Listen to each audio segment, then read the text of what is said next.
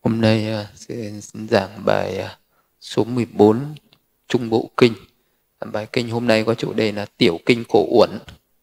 Kuna Dukkha Khan Thá Xuất Tăng. Tiểu Kinh Cổ Uẩn hôm trước thì là bài Đại Kinh Cổ Uẩn. Hôm nay là nói về bài Tiểu Kinh Cổ Uẩn. Thì nói về cái nỗi khổ tiềm ẩn ở trong cuộc sống này thì ờ, cái bài kinh ờ, hôm trước thì chủ yếu là nói về những cái uh, vị ngọt sự nguy hiểm và sự xuân ni của các dục. Uh, dục vui ít khổ nhiều não nhiều sự nguy hiểm càng nhiều hơn. Con người thì chạy theo cái dục và coi những cái dục đấy là hạnh phúc đấy là những cái chúng sinh mê nằm ở thế gian. Vì càng chạy theo dục càng đau khổ. Thì đấy là cái lời dạy đấy là cái trí tuệ giác ngộ của đức phật. Thì hôm bài kinh hôm nay cũng thế đức phật cũng chủ yếu nói về những cái nỗi khổ ờ, của, của nó tiềm ẩn ở trong cuộc sống này mà con người không biết. Nó là khổ cho nên là à, vì cái sự hiểu biết mê nầm cho nên là cứ chạy theo. Nhưng cái nỗi khổ đấy lại tưởng đó là vui. Thì vậy cho nên là cái người đời là cứ à, vui trước khổ sau à, vui trong tham dục vui mà khổ. À, mà lại không biết là có một cái con đường tu tập để thoát khổ đấy và cái bài kinh à, này đức phật cũng muốn nói đến à, có những cái tư tưởng sai ở trên đời. Có những có một số người người ta cũng hiểu ra được đó là cái sự chạy theo dục là khổ đau. Cho nên là người ta lại đi ngược lại. Đó là người ta sống bằng cái pháp khổ hạnh. À, tìm đến cái sự chủ động tìm đến cái sự đau khổ. Và người ta nghĩ rằng là à, cái con đường à, à, chủ động ép xác à, khổ hạnh đấy sẽ là con đường đi đến hạnh phúc. À, và cái tư tưởng này thì đức phật cũng ờ, chỉ ra những cái sai lầm của một cái người à, thực hành cái pháp đi tìm cái hạnh phúc bằng con đường đau khổ. Thì đấy là cái nội dung chính của cái bài à, kinh tiểu kinh cổ uẩn này. Thì à, cái nội dung của bài kinh này như sau.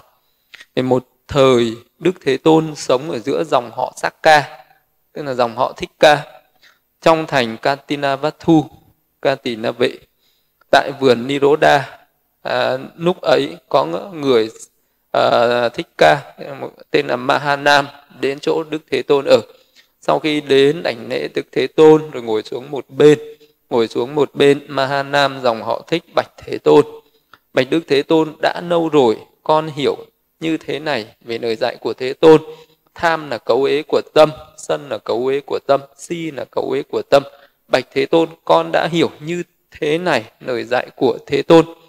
Tham là cậu tham sân si là cấu ế của tâm. Tuy vậy đôi lúc các tham pháp chiếm cứ tâm con và an trú. Các sân pháp chiếm cứ tâm con và an trú. Các si pháp chiếm cứ tâm con và an trú. Bạch thế tôn con tự suy nghĩ pháp nào uh, tự trong ta chưa được đoạn trừ? Do vậy các tham pháp xâm nhập tâm ta và an trú. Các sân pháp thâm nhập tâm ta và an trú và các si pháp thâm nhập tâm ta và an trú. Đây là à, cái lời nói của một cái vị à, à, uh, th- dòng họ thích mahanam uh, một, cũng là một cái người phật tử cư sĩ một cái vị cư sĩ phật tử. Thì uh, vị này vị đã rất là hiểu về tham sân si là cấu uế của tâm. Vị ấy không hề có cái tà kiến như một người phàm phu tức là một cái người phàm phu thì người ta tham thì người chạy theo các cái dục và để thỏa mãn cái lòng tham đó. À, nhưng mà vị này biết tham à, là vui ít khổ nhiều. Tức là vị này có hiểu về tham sân vui ít khổ nhiều si vui ít khổ nhiều. Nhưng vị ấy vẫn không làm chủ được. Và, và tham nó vẫn khởi lên sân vẫn khởi lên si vẫn khởi lên. Bởi vì uh, vị này đã là một vị dự niu tức là một uh, bậc thánh dự niu rồi. Nhưng mà à, vị ấy đã biết là à, mình có những nậu hoặc đã được đoạn trừ. Nhưng tại sao vẫn chưa có thể chế ngự hoàn toàn được? À, những cái dục vọng những cái tham sân si nó vẫn khởi lên nó vẫn an trú ở trong tâm vẫn ngự trị ở trong tâm. Và vị này chưa biết là tại sao có cái nguyên nhân gì mà mình vẫn chưa có thể đoạn trừ được những cái cấu uế này những cái tham sân si này. Và vì đó đến hỏi đức phật để nhờ đức phật chỉ cho cái nguyên nhân lý do tại sao. À, có cái gì chưa được đoạn trừ mà tham sân si này à, vẫn còn sinh khởi nên ở trong tâm mặc dù vì đó không muốn à, không muốn cái tham này nó khởi lên không muốn sân biết nó là cấu uế mà tại sao không đối trị được nó tại sao không điều phục được nó tại sao không đoạn trừ được nó lý do gì nguyên nhân gì à, mà lại có cái sự kiện đó thì đấy là một cái cái người mà có được cái trí như vậy đã là một cái người đã có được một cái trí tuệ rất là cao thượng rồi.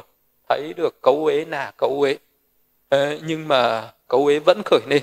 Thì lúc này đức phật dạy rằng, mahana, này, mahanama, có một pháp trong ông chưa được đoạn trừ. Do vậy các tham pháp xâm nhập tâm ông và an trú, các sân pháp, các si pháp thâm nhập tâm ông và an trú này Mahanam, pháp ấy trong ông có thể đoạn trừ được nếu ông không sống trong gia đình, nếu ông không thụ hưởng các dục vọng.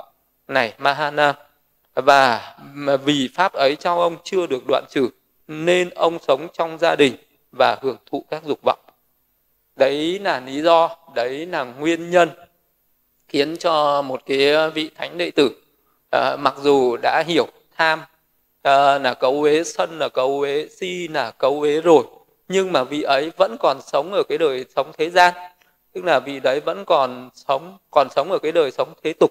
Mà ở cái đời sống thế tục tức là một cái người sống ở tại gia thì là một cái người đấy sống theo cái lối sống uh, thọ dụng các cái dục vọng ở thế gian. À, thọ dụng các cái dục vọng ở thế gian thì làm sao mà có thể tránh được cả những cái tham dục này nó chi phối?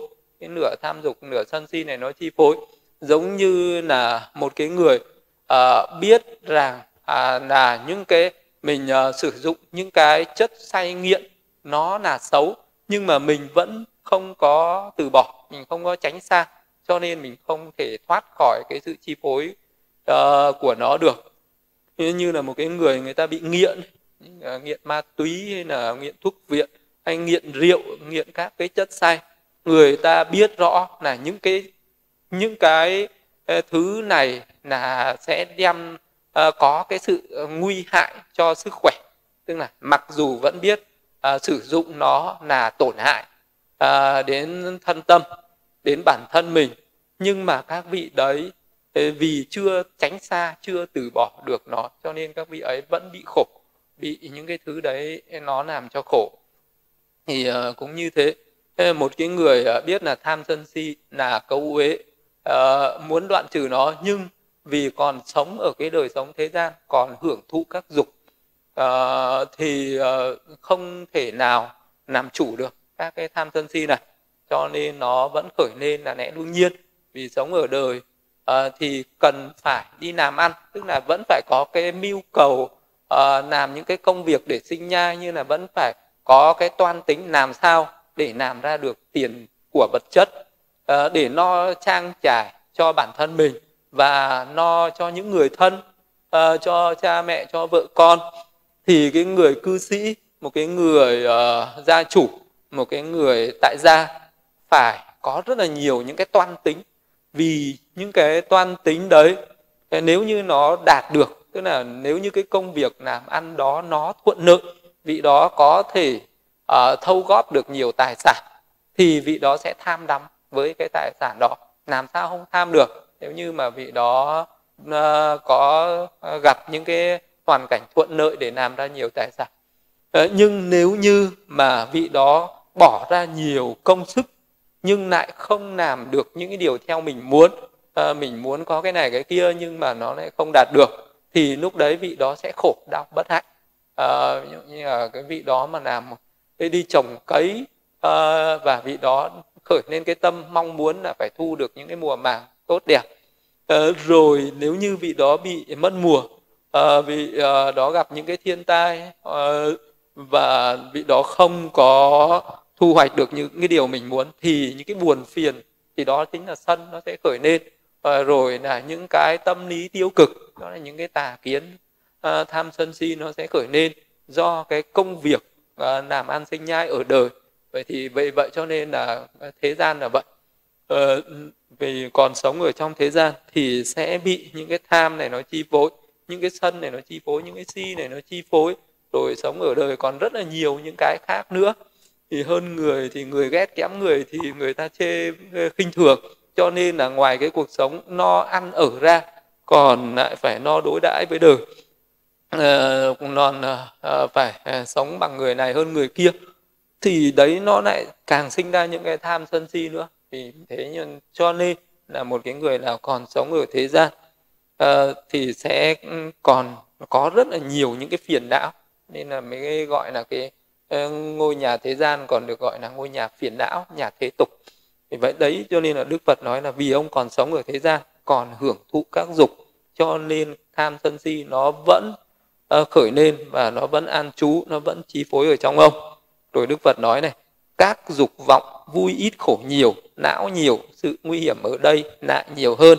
Này mahanama ờ, nếu một vị thánh đệ tử khéo thấy như vậy với như thật tránh trí tuệ, nhưng nếu vị này chưa chứng được hỷ nạc do ni dục, ni ác bất thiện pháp sinh, hay một pháp nào cao thượng hơn, vị ấy chưa khỏi bị các dục chi phối ấy là à, dù à, một cái vị thánh đệ tử một vị thánh đệ tử ở đây đấy là một cái vị đã bước vào dòng thánh rồi đấy chứ không phải là còn là một phàm phu nữa. Một phàm phu thì đức phật đã không gọi là thánh đệ tử mà đức phật à, vì cái thời đức phật là hầu như những người cư sĩ đều chứng đắc các cái đạo quả các thánh quả. Và cái pháp này là đức phật dạy cho một vị thánh đệ tử mà đức phật còn dạy thế các dục vui ít khổ nhiều. Và khi nào một cái người chưa chứng được các cái pháp do ni dục sinh vậy thì pháp do ni dục sinh này là pháp gì? À, pháp do ni dục ni ác bất thiện phinh hay một pháp cao thượng hơn? Thì pháp do ni dục ni ác bất thiện pháp này chính là các cái pháp các cái tầng thiền. Tức là nếu như mà một cái, cái vị thánh đệ tử đấy một cái người uh, cư sĩ đấy mà có thực hành các cái pháp thiền định nếu như vị ấy chú được vào sơ thiền thì nó sẽ có trạng thái ni dục ni ác bất thiện pháp. Chứng và an trú thiền thứ nhất một trạng thái hỷ lạc do ni dục sinh với tầm với tứ vậy thì vị đấy ít nhất là muốn uh, tẩy được những cái cấu uế tẩy được những cái tham sân si này nó không ngự trị nó không chi phối ở trong tâm thì vị đó phải thực hành thiền và phải chứng vào các tầng thiền phải an trú ở trong các tầng thiền. Khi an trú ở trong các tầng thiền một thời hai thời ba thời thì trong suốt cái thời gian đấy các cái tham uh, cấu uế sân cấu uế si cấu uế nó không ngự trị nó không chi phối nó không sinh khởi và khi xả thiền ra rồi nếu vị ấy còn giữ được chánh niệm nếu vị ấy còn duy trì được cái uh, cái sự thu thúc các căn cái sự hộ trì các căn thì uh, cái tâm nó vẫn thanh tịnh. Uh, vậy thì uh, nếu như vị đó dù cho vị đó là một vị thánh đệ tử uh, sơ quả nhị quả nếu như vị đó không có một cái pháp uh, thượng nhân uh, về uh, uh, tức là không an trú ở trong cái cái tâm thiền ấy nếu mà vị ấy không có những cái pháp về thiền định ấy, thì vị đấy cũng không thoát khỏi những phiền não tham sân si chi phối. Ờ, đấy là cái nguyên nhân là cái lý do mà uh, Đức Phật nói là vị ấy chưa chứng được một cái pháp ni dục ni bất thiện pháp hoặc một pháp cao thượng hơn. Pháp cao thượng hơn đây muốn nói là những cái pháp thiền tuệ hoặc là những pháp thiền siêu thế. Tức là nếu như vị đó có thể chứng được đến tam quả hoặc tứ quả đi thì đấy có thể tu tập tiếp uh, thực hành để chú vào các cái pháp siêu thế uh, chúng được lên đến tam quả thì nó đoạn trừ tham dục sân hận. Tứ quả thì nó có thể đoạn trừ hết sạch những câu ấy thì lúc đấy vị đó mới hoàn toàn tự tại giữa đời được. Vậy thì uh, một cái uh, vị, uh, vị uh, thánh đệ tử đấy muốn sống an ổn ở thế gian thì một là vị đó phải có được một pháp thiền định. Uh, trú ở trong cái pháp thiền định đó. Uh, để mà uh, thì cái tâm nó sẽ được thanh tịnh thoát khỏi những cái cấu uế tham sân si. Hoặc là vị đó phải tu tập để chứng đắc những cái đạo quả cao hơn, phải chứng đến ờ, tam quả hoặc là tứ quả thì nó mới hết được những cái cấu uế này.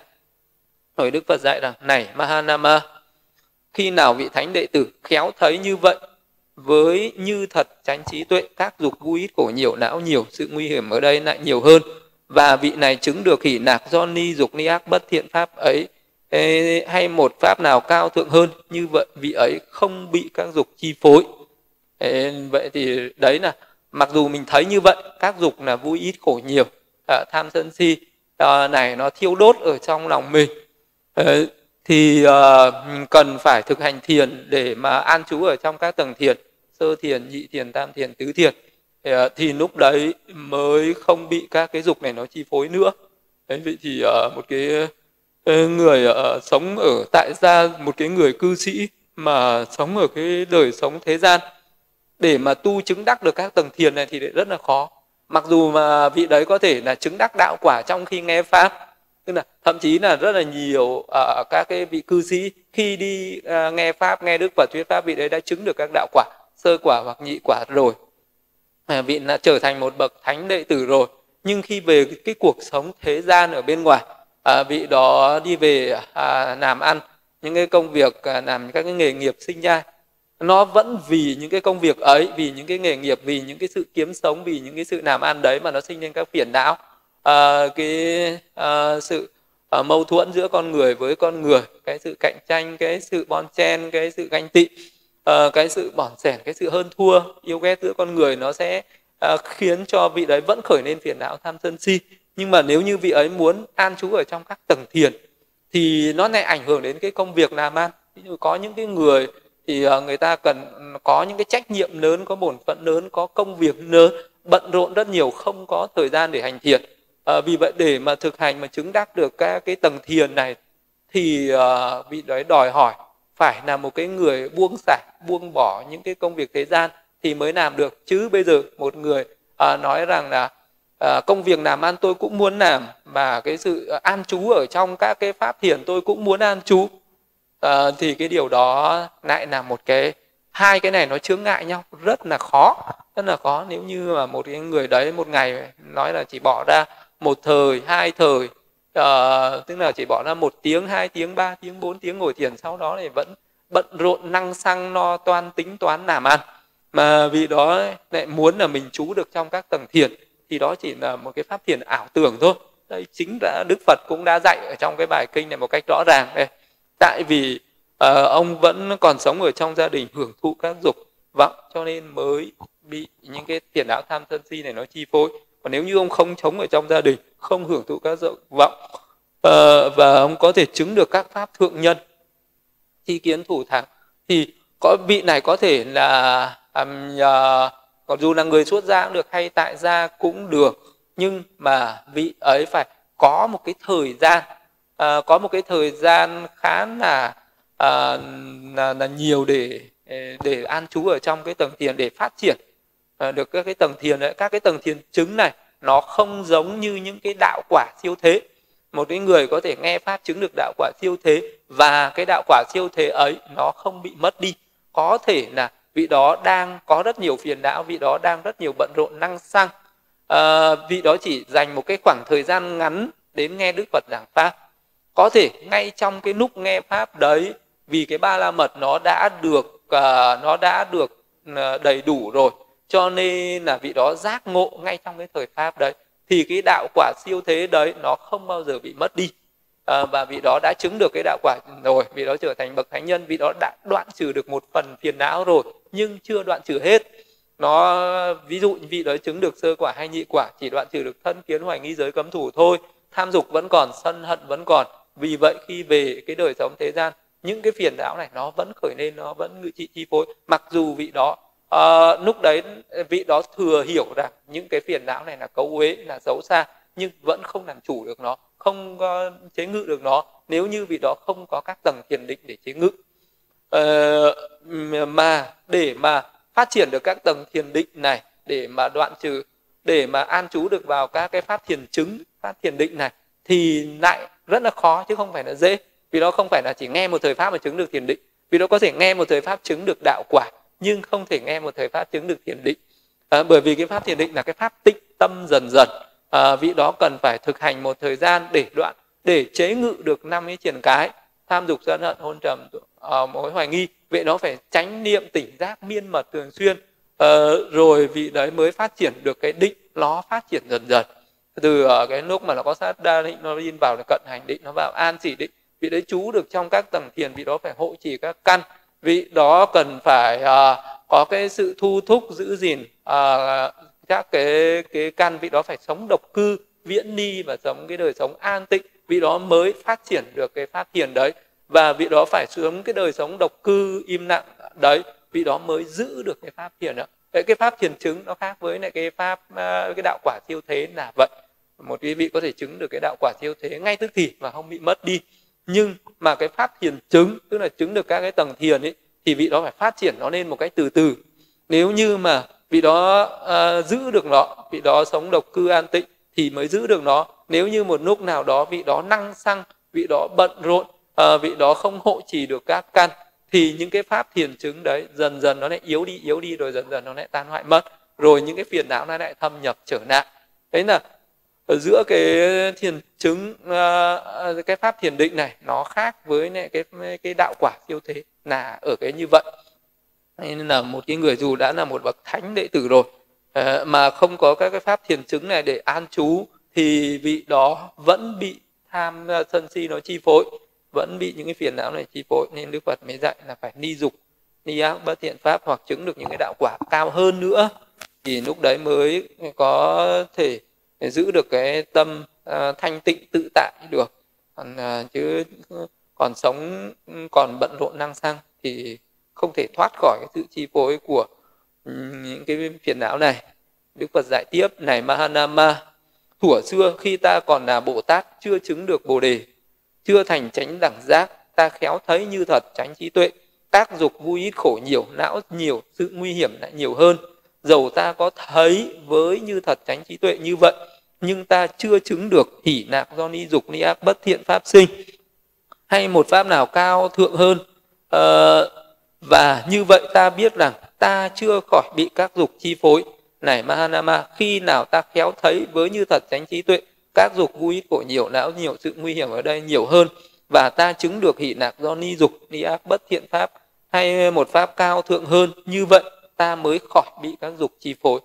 Đấy là đức phật cũng nói luôn đến bản thân ngài cũng như thế để đồng cảm với mahana uh, mahanama này để đồng, đồng cảm với cái vị cư sĩ này. Là đến cái bản thân của đức phật khi còn là bồ tát khi ngài chưa thành đạo có thể là trong đời này hoặc là trong đời trước uh, ngài uh, cũng thừa hiểu rằng các dục là vui ít khổ nhiều. Uh, mặc dù hiểu như vậy biết như vậy nhưng không đoạn trừ được các dục này à, nó vẫn khởi lên nó vẫn ngự trị nó vẫn chi phối. Chỉ khi nào ni dục ni ác bất thiện pháp chứng được các tầng thiền sơ thiền nhị thiền tam thiền tứ thiền các tầng thiền sắc giới vô sắc giới uh, thì thực sự lúc đấy nó mới chế ngự được những cái tham dục sân hận và tà kiến này. Ờ, hoặc là chứng được những cái pháp cao hơn tức là chứng được các cái đạo quả. Ví dụ như từ khi đức phật mà chứng được cái đạo quả uh, tứ thánh đạo tứ thánh quả uh, một bậc a la hán thánh đẳng giác thì lúc đấy mới quét sạch được những cái tham dục này không bị nó uh, chi phối và lúc đấy nó mới tuyệt đối hoàn toàn không còn sinh khởi nữa. Uh, còn uh, lúc trước mặc dù mình có ý thức như vậy đấy mình có hiểu như vậy đấy nhưng mà cái tâm này nó đâu có phải là dễ dàng uh, uh, chế ngự được uh, những cái tâm bất thiện này nó đâu có dễ dàng chế ngự được đâu. Thì lúc đấy mình còn đối cảnh thì nó còn sinh tâm. Uh, hàng ngày mình còn sống trong cái cảnh trần như vậy. Ờ, cái tâm nó vẫn còn nhiễm trần như vậy thì làm sao nó không bị ờ, những cái cảnh trần đó nó thiêu đốt được? Ừ, giống như là ờ, mình sống ở trong cái ngôi nhà nó bị cháy, mình biết nó cháy mình mình không có chạy ra thì mình sống ở đấy, mình sẽ bị nóng, bị bỏng, bị cái sự xúc chạm của những cái sự khổ não đấy thôi. Sống ở thế gian thì nó thế. Nó sẽ bị những cái phiền não ở thế gian.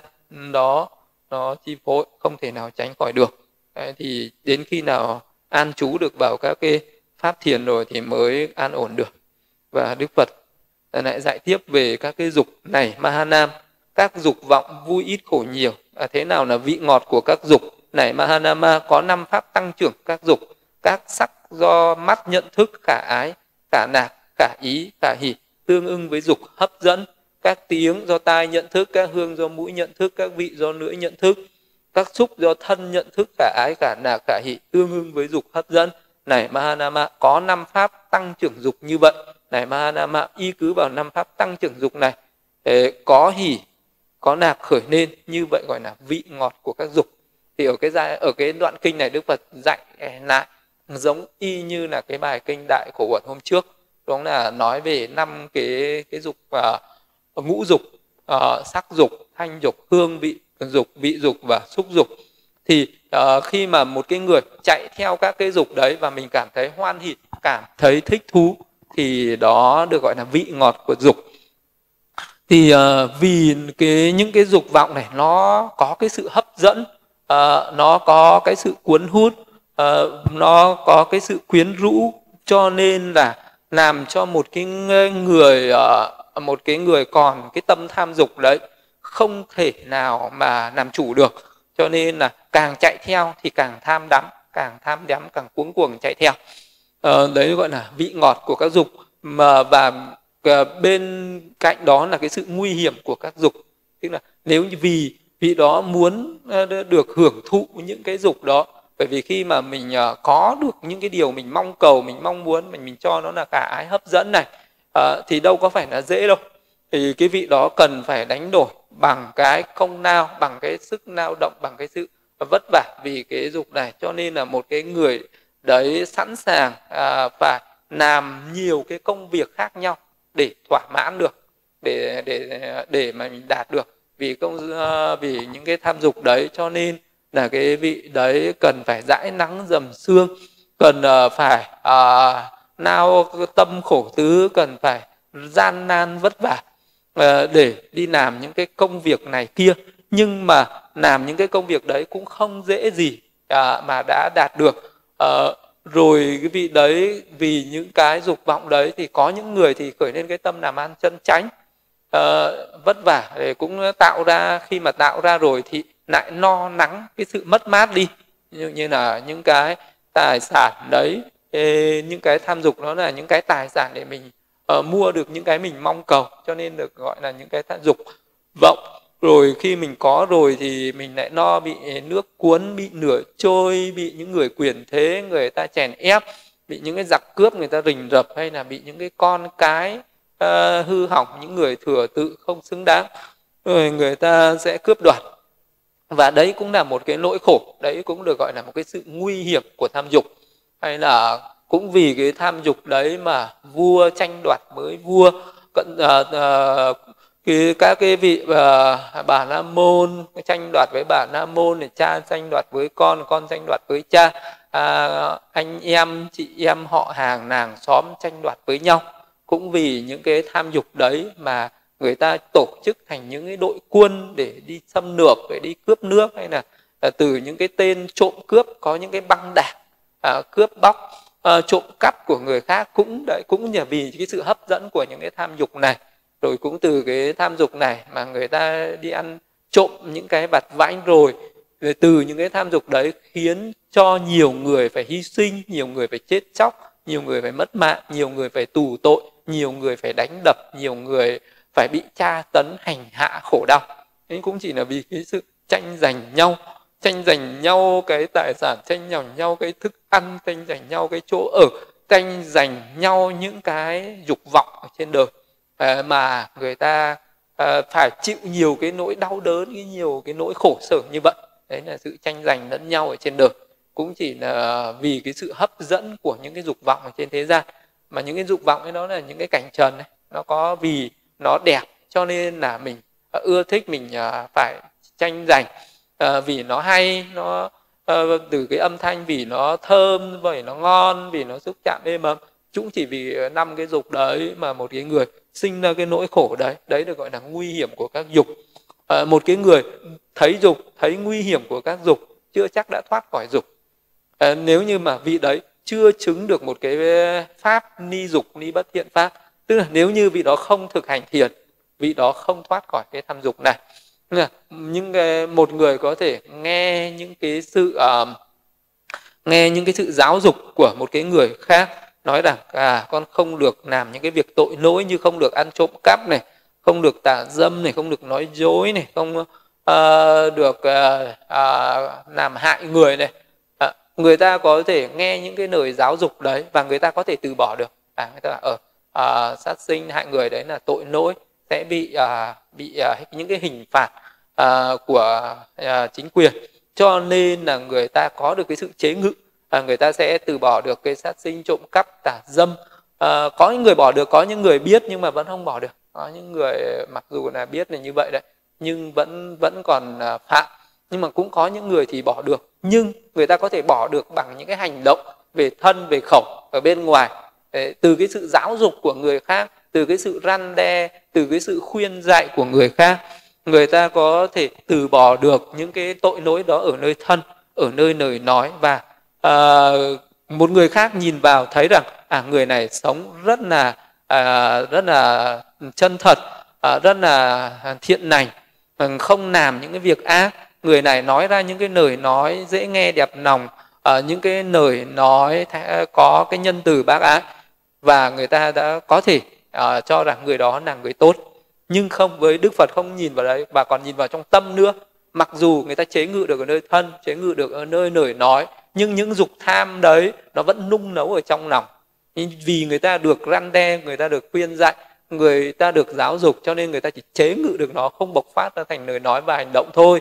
Nhưng trong tâm người ta vẫn bị những cái nửa dục đó chi phối vẫn bị sân hận chi phối vẫn bị tà kiến chi phối. Đây mới là cái pháp mà đức phật dạy phải đoạn trừ nó tận gốc ở trong lòng. Thì muốn đoạn trừ được cái pháp này, không thể dừng lại ở cái sự giáo dục răn đe, khuyên dạy bằng cái pháp luật bằng cái cái đạo lý nữa, mà phải ờ, đoạn trừ nó bằng cái sự, bằng cái công phu, bằng cái sự tu tập, bằng cái sự hành trì, bằng cái sự thực hành các pháp thiền chỉ quán. Lúc này phải cho nên là ở giáo pháp của đức phật không phải là để học lý thuyết suông học lý thuyết suông mình có thể chế ngự được nỗi nằm ở nơi hành động ở nơi lời nói nhưng không chế ngự được cái nỗi nằm đó ở trong ý thức ở trong tâm thức. Mà vậy vậy cần phải có cái sự thực hành. Cái sự thực hành đó bằng cái pháp thiền chỉ và thiền quán. Vậy cho nên là chỉ có thực hành thiền chỉ và thiền quán mới có thể đi đến cái sự thanh tịnh được ở trong nội tâm mới có thể đi đến cái sự thanh tịnh được ở trong sự chi kiến mới phát triển được trí tuệ giác ngộ. À, và không có cái cái pháp nào khác không có cái con đường nào khác không có một cái người đấy có thể nói là tôi đã học hết bằng này bài kinh, tôi đã thân cận với bằng này bậc thiện tri thức, tôi đã có những cái sự hiểu biết rộng lớn như thế này, tôi có thể thuyết giảng được giáo pháp như thế này, mà có thể nói rằng cái vị đó là cái vị đã thanh tịnh ở nơi tâm, vị đó có thể thanh tịnh ở nơi thân khẩu, nhưng chưa hoàn toàn thanh tịnh ở nơi tâm. Vì đấy cần phải thực hành thiền định, cần phải thực hành thiền tuệ nữa thì những cái cấu uế đó nó mới được gột rửa ra khỏi cái đời sống ở nội tâm. À, đấy là à, cái sự à, à, thấy được cái đấy mới gọi là cái sự à, thoát ly à, khỏi dục thấy được vị ngọt thấy được sự nguy hiểm và sự xuất ni các dục. Vậy thì sự xuất ni các dục phải thực hành thiền thiền định và thiền quán. Đấy mới là cái con đường xuất ni các dục không có con đường nào khác. À, Ừ, khi nào chứng được các cái pháp thiền định ừ, thiền chứng hoặc là chứng được các cái pháp siêu thế các cái đạo quả giác ngộ thì lúc đấy mới hoàn toàn mới hoàn toàn thanh tịnh về tâm và mới hoàn toàn thanh tịnh về trí kiến mới hoàn toàn suốt ni đó được khỏi các cái tham dục. Đấy là một cái pháp và uh, đức phật ừ, nói về những cái pháp uh, tu khổ hạnh nữa. Thì uh, đức phật lúc đấy đức phật lại nói đến một cái câu chuyện khác một cái câu chuyện cũng liên quan đến một cái nỗi khổ này nhưng mà cái nỗi khổ này nó ngược lại với nỗi khổ của tham dục. Đó là một cái một cái nỗi khổ nó lại tiềm ẩn ở trong một cái nỗi khổ khác. Đó là cái nỗi tức là một cái người chạy theo tham dục là khổ nhưng một cái người thấy rằng à tham dục là khổ cho nên họ sống bằng cái cách gọi là đè nén tham dục bằng cái sự à, thực hành khổ hạnh để đè nén tham dục. Thì đức phật cũng chỉ ra cái sai đây cũng là một cái cực đoan. Tức là một cái cực đoan thứ nhất là một người chạy theo tham dục là khổ một cái cực đoan thứ hai đó là một người à, đè nén dục bằng cái nối tu khổ hạnh là cái cực đoan thứ hai. Cả hai cái này đều là khổ. Thì đấy là một cái ý nữa trong cái bài kinh tiểu khổ này.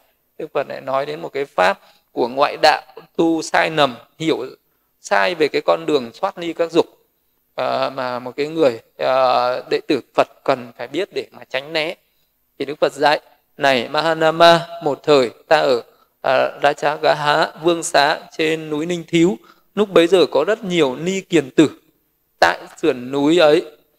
À, đứng thẳng người không chịu ngồi và cảm giác những cảm thọ thống thiết khổ đau khốc liệt bén nhạy. Nảy Mahanama rồi ta vào buổi chiều từ thiền định độc cư đứng dậy đi đến sườn núi các chỗ các Nigantha ấy ở. Khi đến nơi ta nói với các Nigantha ấy chư hiển tại sao các ngươi lại đứng thẳng không chịu ngồi xuống và cảm giác những cái cảm thọ uh, thống khổ khốc liệt như vậy. Này Mahanama được nói như vậy các Nigantha trả lời như sau. Hiền giả Nigantha uh, Natabutta là bậc toàn chi toàn kiến tự xưng là có chi kiến toàn diện. Như sau dầu ta có đi có đứng có ngủ có thức chi kiến luôn luôn được tồn tại liên tục nơi ta. Vì ấy nói như sau này Nigantha nếu xưa kia à, người có làm nghiệp ác hãy làm cho nghiệp ấy tiêu mòn bằng khổ hạnh khốc liệt này à, sự không làm ác nghiệp trong tương lai chính là sự hộ trì về thân hộ trì về lời nói hộ trì về ý ngay trong hiện tại.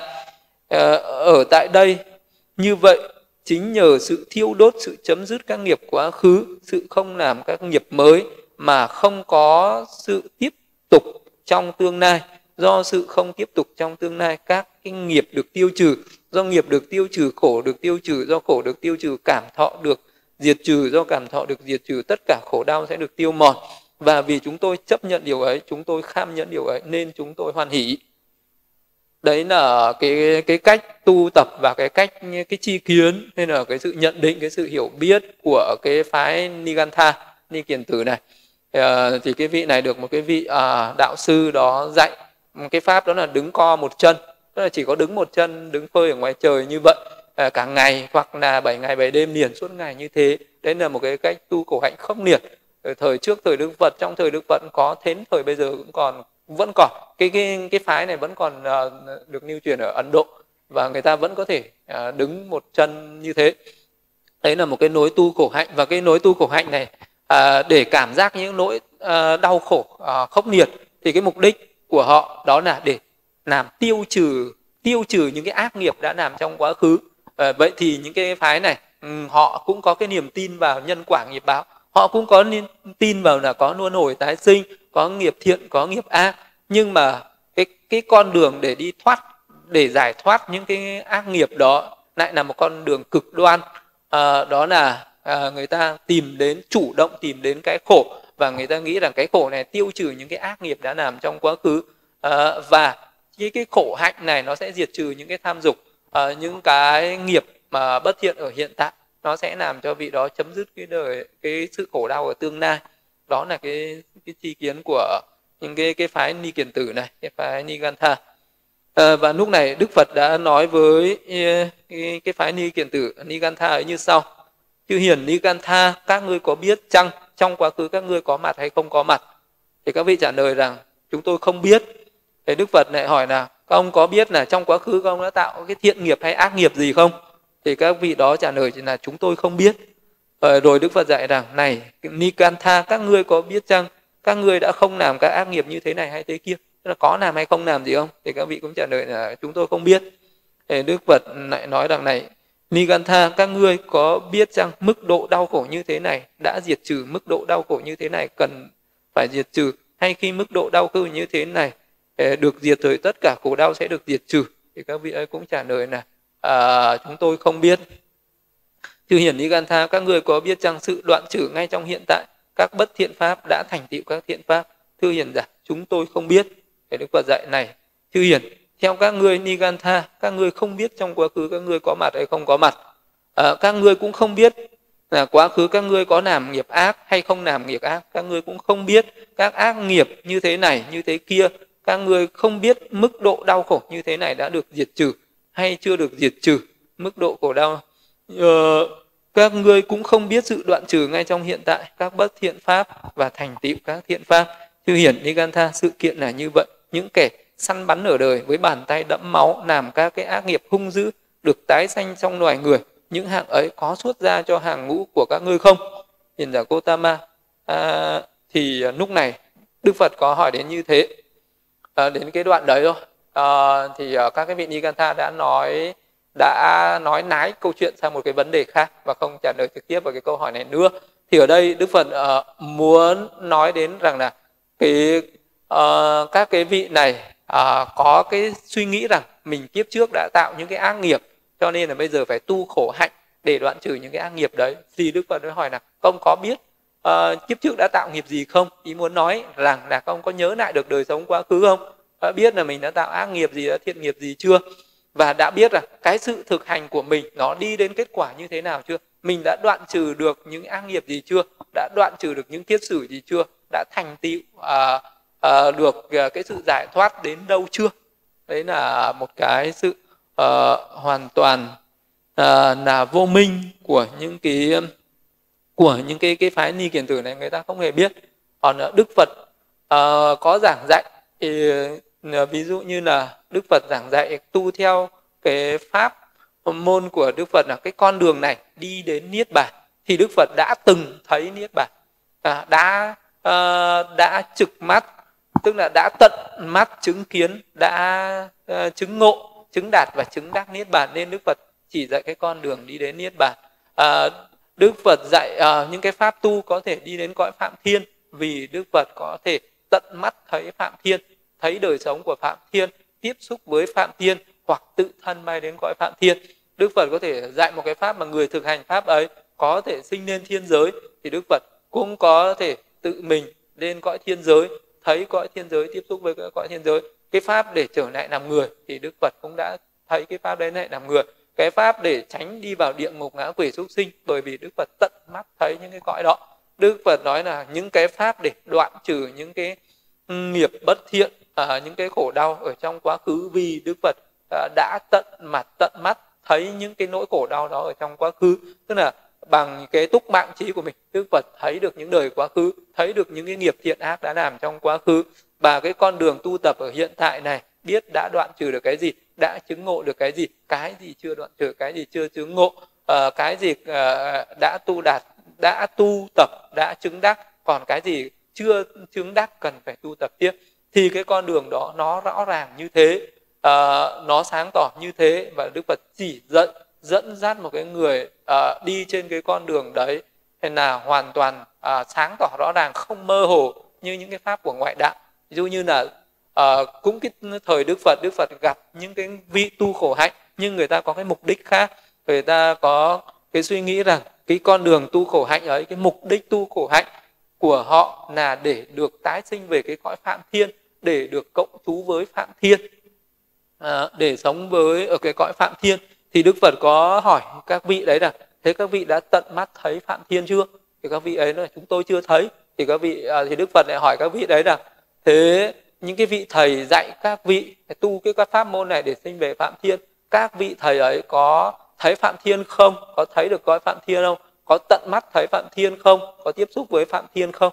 Ờ, các vị thầy ờ, từ một đời đến bảy đời các vị tôn sư của các vị, những người đã nói nên những cái pháp môn này ờ, đã thuyết giảng những cái pháp môn này thì các vị ấy cho đến các cái vị tổ sư từ đầu tiên cho đến thời hiện tại này, đã ai từng uh, thấy phạm thiên chưa? Uh, từng tiếp xúc với phạm thiên chưa? Từng thấy cái cõi phạm thiên như thế nào chưa? Thì tất cả các vị ấy đều phải công nhận một điều rằng chưa từng có ai thấy. Mặc dù là à, các vị ấy mong rằng là cái uh, pháp môn tu tập ấy để các vị ấy được sinh về phạm thiên giới thì đức phật ấy hỏi rõ ràng như thế. Vậy phạm thiên giới là như thế nào? Các vị đang uh, thực hành một cái pháp môn này với một cái bích mục đích là để sinh về cõi phạm thiên. Vậy cõi phạm thiên đấy nó như thế nào? Các vị đã thấy chưa? Các vị thầy đã thấy chưa? Các cái vị tổ sư à, đầu tiên tuyên thuyết ra cái pháp môn đấy có thấy không mà dám chỉ đường cho người khác đi đến một cái chỗ mà mình chưa từng thấy? Như là một cái người à, chưa từng đi đến à, đi đến một cái nơi này, một cái địa điểm nào đó rất là xa xôi mà bây giờ dám chỉ đường cho người khác. Cái người đấy còn chả biết mà dám chỉ đường thì cái điều đó nó cũng giống như là một đứa mù dẫn một cái đoàn mù đi theo. Tức là một cái đứa đi trước một cái người dẫn đường đấy là một cái kẻ mù mắt mà lại dám vẫn động mọi người dẫn dắt mọi người hãy đi theo tôi tôi sẽ dẫn mọi người đến một cái nơi hạnh phúc an vui. Ờ, và đấy là một cái đứa mù đi trước dẫn một đoàn mù đi sau. Thì tất cả sẽ đi luẩn quẩn lòng vòng và sẽ rơi vào những cái hố khổ đau nguy hiểm. Như vậy nếu như bây giờ trên thế gian này có những cái pháp tu tập có những cái uh, người tu tập có những cái mục đích tu là chúng tôi tu tập để sinh về cõi này cõi kia. Như như là có người nói sinh về cõi uh, thiên đàng thì một cái người có trí sẽ hỏi là các vị có thấy cõi thiên đàng chưa? À, những cái à, vị thầy của các vị những cái người thuyết giảng ra những cái con đường đi đến thiên đàng các vị có tận mắt thấy thiên đàng không? À, thì à, thiên đàng nó như thế nào các vị có thấy không? Thì, thì nếu như những cái vị đấy nói là không chúng tôi không biết chúng tôi chỉ nói trong kinh điển truyền đại lại như thế thì đó sẽ là một cái con đường gọi là mơ hồ không chân thật à, cũng như vậy nếu như bây giờ nói là có một cái cõi ờ, nào đó nó sung sướng lắm nó hạnh phúc lắm nó à, khổ an vui lắm thì có người tu tập cái pháp môn đấy. À, sẽ hỏi những cái vị thầy là thế thầy đã thấy cái cõi đấy chưa? Cái cõi đấy nó cực nạc như thế nào? À, nó sung sướng như thế nào? Nó hạnh phúc như thế nào? À, thì các vị ấy, tôi không thấy tôi cũng chưa biết không thấy mà dám chỉ đường cho người khác đi đến một cái nơi mình không thấy. Thì đức phật ví dụ rằng là cũng giống như là một cái người thanh niên say đắm một cái cô gái ở địa phương khác. À, thì uh, những cái người này tha thiết ờ, uh, ái luyến tham đắm cái cô gái đấy. Rồi những cái người bạn của anh ta nói rằng anh yêu uh, một cái cô gái ở một cái địa phương kia. Thế anh có biết mặt cô gái đấy không? Mà tôi không biết. Anh có biết tên cô gái đấy không? Mà tôi không biết. Anh có biết là cô gái đấy mập hay gầy cao hay thấp đen hay trắng? À, một cái người như thế nào không? Nhưng mà tôi không biết. Thế, thế thì bảo là như vậy là anh đang yêu một cái người mà anh không hề biết. Cũng như vậy một cái pháp môn một cái con đường để đi đến một cái cõi sống một cái cảnh giới nào đó mà một cái vị thầy chỉ đường không biết cái cõi đó không thấy cái cõi đó rồi cái người tu tập cũng không biết không thấy cái cõi đó. À, vậy thì đấy chỉ là một cái đứa mù đi trước dẫn dắt một cái đoàn mù theo sau. Rồi ừ, cái con đường đấy chỉ không phải là con đường à, đi đến hạnh phúc mà là cái con đường luồn cuộn à, ảo mơ hồ ảo tưởng mà thôi. Thì cái pháp của đức phật không phải thế. Đức phật có thấy cái gì đức phật mới nói ra điều đó. Những cái gì mà đức phật nói ra vì ngài thấy ngài biết ngài chứng chi chứng đạt chứng đắc và à, ngài đã tận mặt tận mắt đã chứng kiến cái điều đó cho nên đức phật mới dám tuyên bố như thế. À, đức phật chỉ rằng cái con đường này sẽ đi đến niết bàn chấm dứt khổ đau. Ờ, thực hành cái pháp môn này sẽ đi đến cõi phạm thiên thực hành pháp môn này đi đến cõi chư thiên thực hành pháp môn này đi đến cõi nhân giới. À, thực hành cái pháp này sẽ đi xuống địa ngục ngã quỷ súc sinh. Vì vậy nên là đức phật chỉ ra một cái con đường do ngài đã nhiễu chi do ngài đã tuệ chi do ngài đã chứng ngộ cái con đường đấy. Cho nên ngài mới tự tin tự tại tuyên thuyết nên như một cái người rống lên tiếng rống con sư tử mà không có một cái sự do dự không có một cái sự à, bất an không có một cái sự rụt rè sợ hãi nào hết. Vì ngài chỉ nói ra những điều mà ngài thấy đó là một cái người nói ra sự thật và vì cái lòng thương tưởng cho đời cho nên là ngài mới khuyến khích uh, mọi người hãy đi theo con đường ấy và sẽ đi đến cái nơi uh, mục đích cụ thể như thế. Đi đến đâu cái vị đó sẽ biết mình đi đến đó. Uh, chứ không hề có cái sự mơ hồ mà không biết mình đã đi đến đâu. Mà cái pháp của đức phật là biết rõ ràng như vậy. Nên là đức phật dạy tiếp uh, này hiền giả Gotama lúc đấy Đức Phật à, mới hỏi cái vị năng Nigantha này à, là có những cái kẻ độc ác bàn tay đẫm máu hung dữ à, thì có xuất ra ở trong cái hội ngũ, ngũ Nigantha này không? Thì lúc đấy à, cái những cái vị Nigantha này đã tránh né cái câu hỏi đấy sang một vấn đề khác và các vị Nigantha trả lời Đức Phật hiền giả Gotama hạnh phúc không có thể thành tựu nhờ hạnh phúc hạnh phúc phải thành tựu nhờ đau khổ. Này hiền giả Gotama nếu hạnh phúc có thể thành tựu nhờ hạnh phúc thì vua Bimbisara có thể được hạnh phúc ờ, và vua xứ Mag, ờ, Maganda Bimbisara sống hạnh phúc hơn tôn giả Gotama. Thì lúc này Đức Phật nói là lời nói này thật sự đã được các vị Nigantha nói lên một cách hấp tấp không có suy tư hiền giả Gotama. À, ờ, hạnh phúc không thể thành tựu nhờ hạnh phúc, hạnh phúc phải thành tựu nhờ khổ đau. Hiền giả Gotama nếu hạnh phúc có thể thành tựu nhờ hạnh phúc, thời vua Bimbisara đã hạnh phúc Ờ, và vua Bimbisara hạnh phúc hơn tôn giả Gotama thì lúc đây là Đức Phật uh, uh, nói phản bác cái câu nói của các vị Nigantha. Các vị Nigantha nào nói hạnh phúc mà thành tựu nhờ hạnh từ hạnh phúc. Thì các vị vua họ đã hạnh phúc. Tại sao mà những vị Nigantha này lại nói là các vị vua không hạnh phúc các vị vua khổ đau? Bởi vì cái thời xưa thì à, các cái vị vua ấy mà ai đến hỏi là các ngài có hạnh phúc không? Thì tất cả các vị vua không ai nói rằng mình hạnh phúc hết mà hầu như các vị vua nói tôi còn khổ hơn các vị tôi còn khổ hơn những cái người dân này. Tại sao? Bởi vì một vị vua phải gánh vác một cái tranh viện rất là lớn một cái công việc rất là nhiều. À, cứ tưởng là người ta được hưởng thụ những cái ngũ dục cái dục vọng thế gian người ta sung trướng nhưng mà tâm trí đâu mà hưởng thụ cái dục vọng đấy. Người ta hưởng thụ trên cái sự thiêu đốt ví dụ như là à, một cái người à, mà bây giờ à, à, mình à, à, cho, vừa à, lấy một cái ngọn lửa mình nung ở phía dưới mình cho người ta hưởng cái dục vọng ở phía trên người ta có chịu đâu.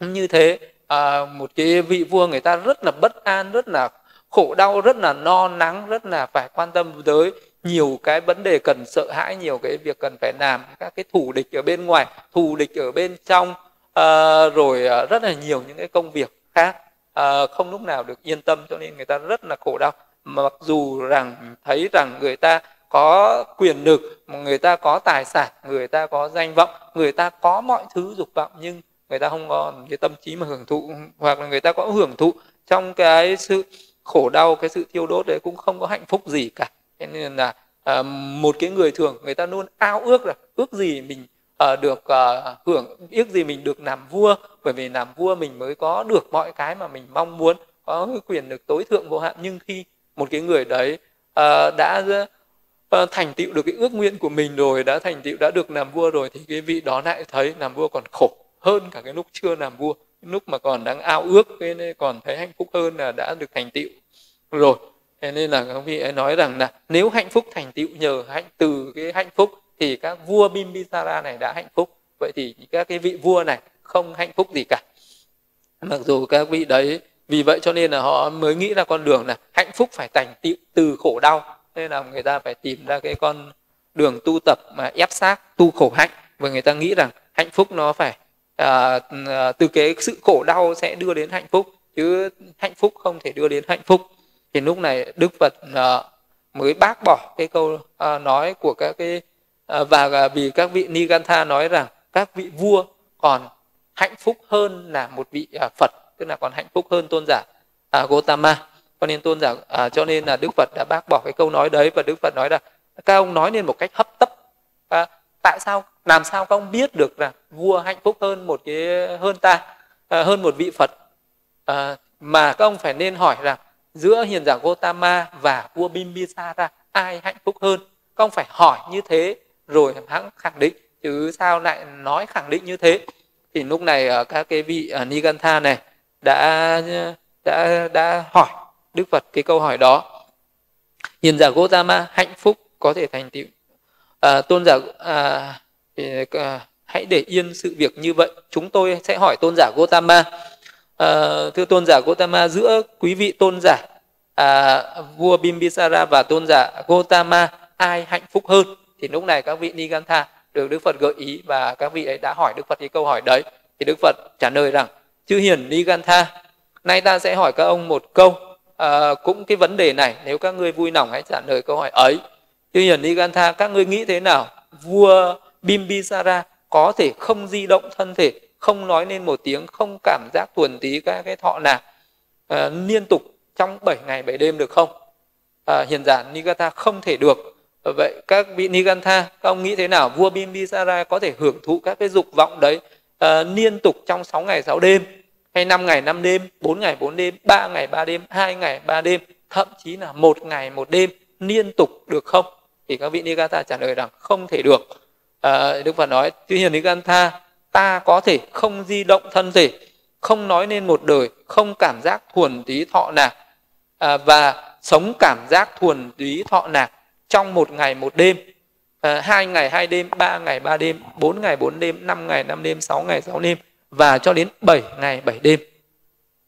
À, đấy là đức phật nói rằng ta có thể cảm thọ cái sự hỉ nạc đấy liên tục không gián đoạn trong 7 ngày 7 đêm được. Còn một cái vị vua hưởng thụ các dục không thể hưởng thụ liên tục một ngày một đêm được. Vậy cái sự hạnh phúc giữa một cái uh, một cái người chứng các cái tầng thiền và một cái người hưởng thụ các dục các cái dục là là khác nhau rất xa vì cái dục nó chỉ hưởng thoáng qua một tú sau đó là nó khởi lên những cái sầu bi yêu não liệt chứ nó không thể thuần túy là cái sự hỉ nạc do cái sự hưởng thụ dục vọng đấy. Nó không sinh khởi liên tục cả ngày cả đêm được mà nó chỉ khởi lên một lúc sau đó là sầu bi im não nó khởi lên.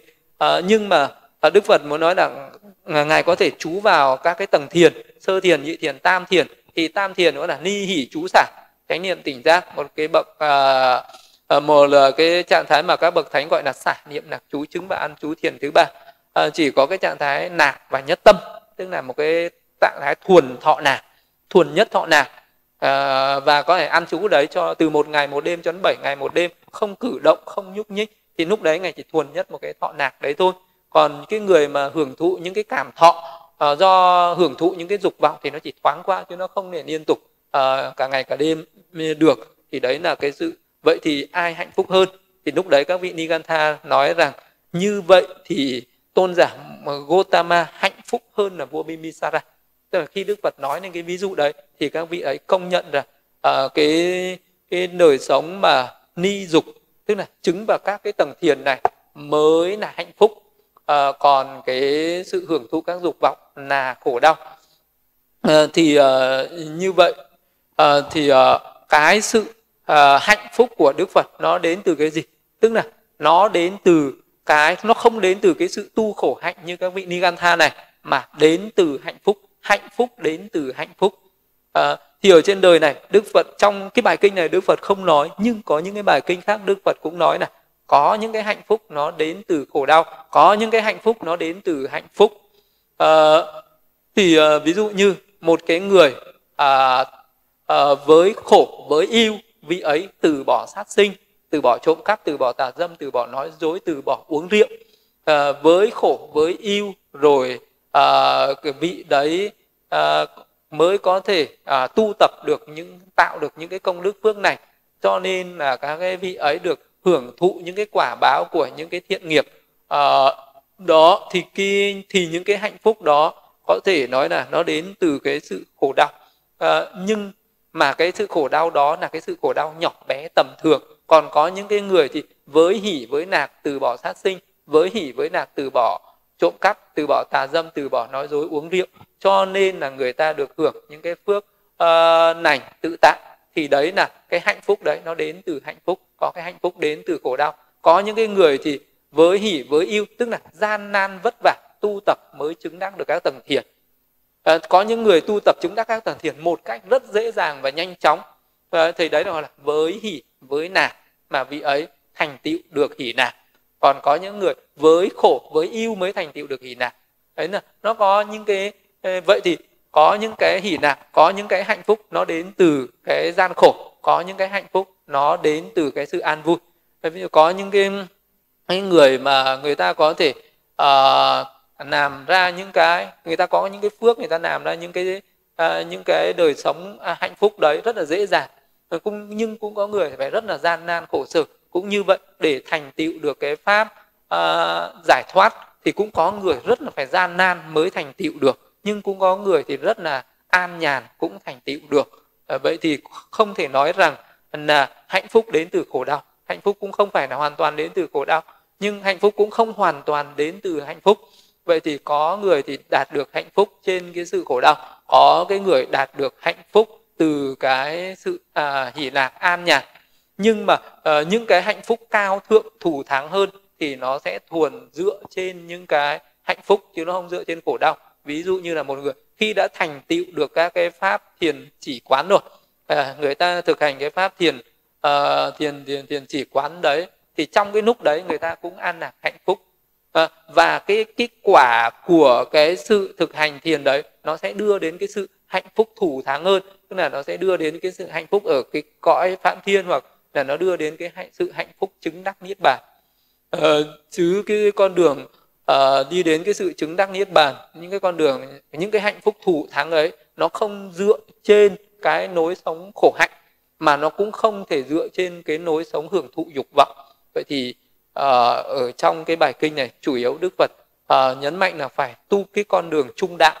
Tức là mình không được chạy theo những cái tham dục. Phải biết là dục vô ít khổ nhiều. Uh, cho nên là phải thực hành những cái pháp ni dục. Đó là thực hành những cái pháp thiền chỉ và thực hành những cái pháp để đoạn trừ tham dục. Đó là thực hành những cái pháp thiền quán. Uh, chứ không được chạy theo tham dục. Một người chạy theo tham dục thì vui ít khổ nhiều sự nguy hiểm nhiều hơn. Và một người chạy theo cái nối uh, xa nìa cái dục bằng cái sự tu khổ hạnh cũng là sai lầm vì cái con đường đấy cũng sẽ chỉ đi đến đau khổ. Đau khổ ở hiện tại và đau khổ ở tương lai chứ không đem lại cái sự giải thoát khổ. Vậy cái con đường thoát khổ chính là còn phải là con đường trung đạo phải xa lìa được hai cái cực đoan hưởng thụ mà dục nạp. Uh, và xa lìa được cái cực đoan đó là tu khổ hạnh. Thì đấy là uh, đức phật đã trong cái bài tinh uh, khổ và tiểu cổ uẩn này thì đức phật chỉ nói nên hai điều đấy. Em muốn hiển dương ra cái con đường trung đạo để cho một cái người thích uh, tỉnh thức và tránh xa hai cái thái cực đó để đi đúng đường trung đạo và đi đến niết bàn thôi. Thế nên là cuối bài kinh đức phật dạy sự kiện này là như vậy tôn giả Gotama sống hạnh phúc hơn vua Bimbisara. Ờ, thế tôn thuyết giảng như vậy Mahanama thuộc dòng họ Sakka hoan hỷ tín thọ lời dạy của thế tôn. À, tiểu kinh khổ uẩn thứ 14 thế là cái chấm dứt hết cái nội dung của bài kinh tiểu kinh cổ uẩn.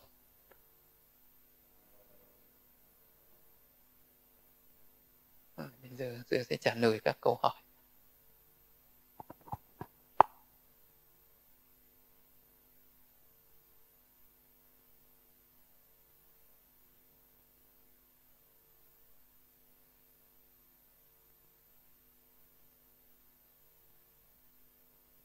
À, con uh, kính bạch sư ạ, con uh, xin chuyển sang phần uh, hỏi đáp hình pháp ạ. Dạ, xin thưa ở trong hội chúng có ai có câu hỏi trực tiếp với thằng sư không?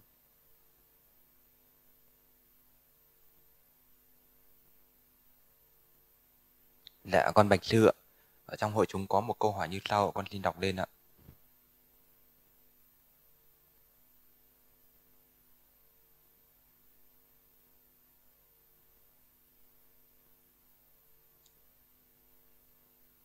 Dạ, con kính bạch sư ạ.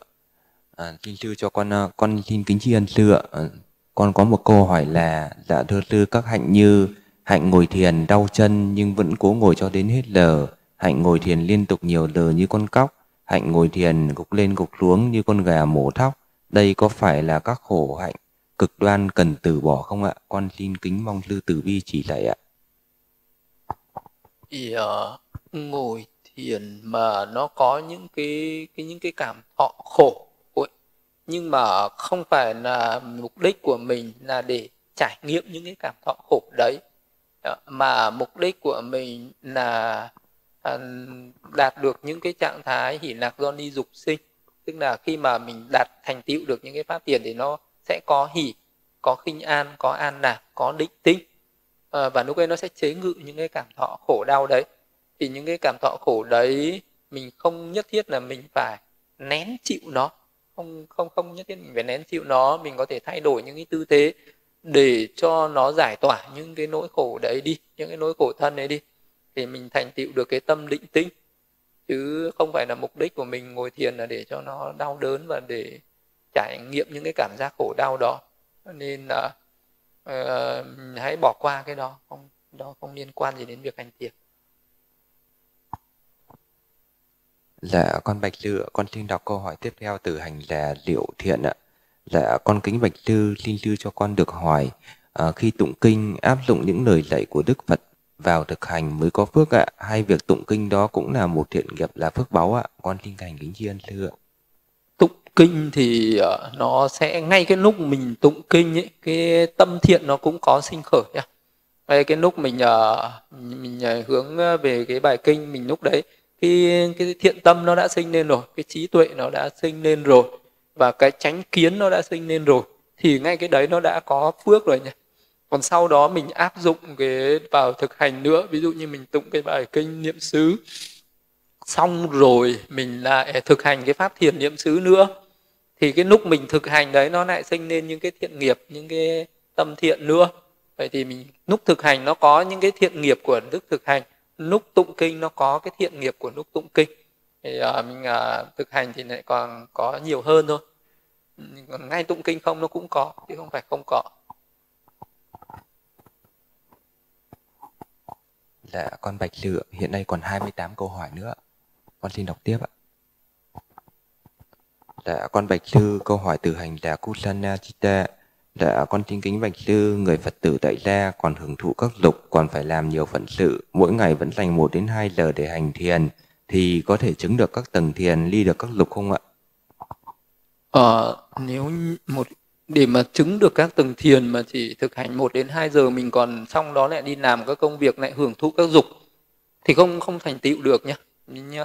À, có cái sự thành tựu đấy là ảo tưởng không không không không không dễ dàng thành tựu được nhờ đọc trong cái bài kinh này Đức Phật nói ờ, một cái vị thánh đệ tử Mahanam này này sống Đức Phật cũng nói rõ ràng này vì ông còn sống ở trong gia đình ông còn hưởng thụ các dục vọng cho nên không đạt được cái pháp do ni dục sinh.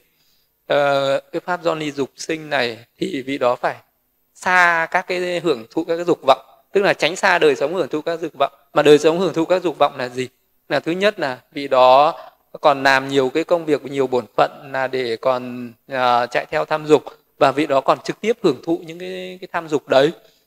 Thì những cái tham dân si này nó còn rất là mạnh. Còn những cái cấu uế những cái triền cái này nó khởi lên rất là mạnh. Uh, vị đó không không chứng được. Nếu như vị đó phải dành uh, gần hết cái thời gian trong ngày đấy uh, cho cái việc hành thiền đấy cơ thì vị đó mới chứng được các cái pháp thiền định. Uh, ngay một vị thánh đệ tử uh, dự niu rồi đức phật còn dạy thế huống chi là một cái người phàm phu này là cái người thời nay. Những cái phiền não tham dục sân hận si mê nó quá là lớn.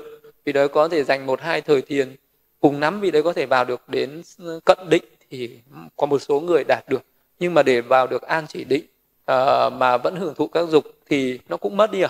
Lúc kể cả cái lúc mình có thể dành ra một cái khoảng thời gian một tiếng hai tiếng ba bốn tiếng hoặc là một cái khóa thiền một ngày hai ngày một tháng hai tháng một năm hai năm. Thậm chí vị nó có thể dành 10 năm 20 năm Ờ, xa lì ở cái đời sống ờ, thế gian để, chuyên tu nhập thất chuyên tu vị đó có thể chứng đắc được các tầng thiền rồi. Nhưng sau đó vị đó mới chỉ chứng đắc được các cái tầng thiền đấy rồi nó lại trở về lại tiếp tục làm các công việc rồi lại tiếp tục hưởng thụ các dục thì những cái tầng thiền đấy nó tiêu tan đi.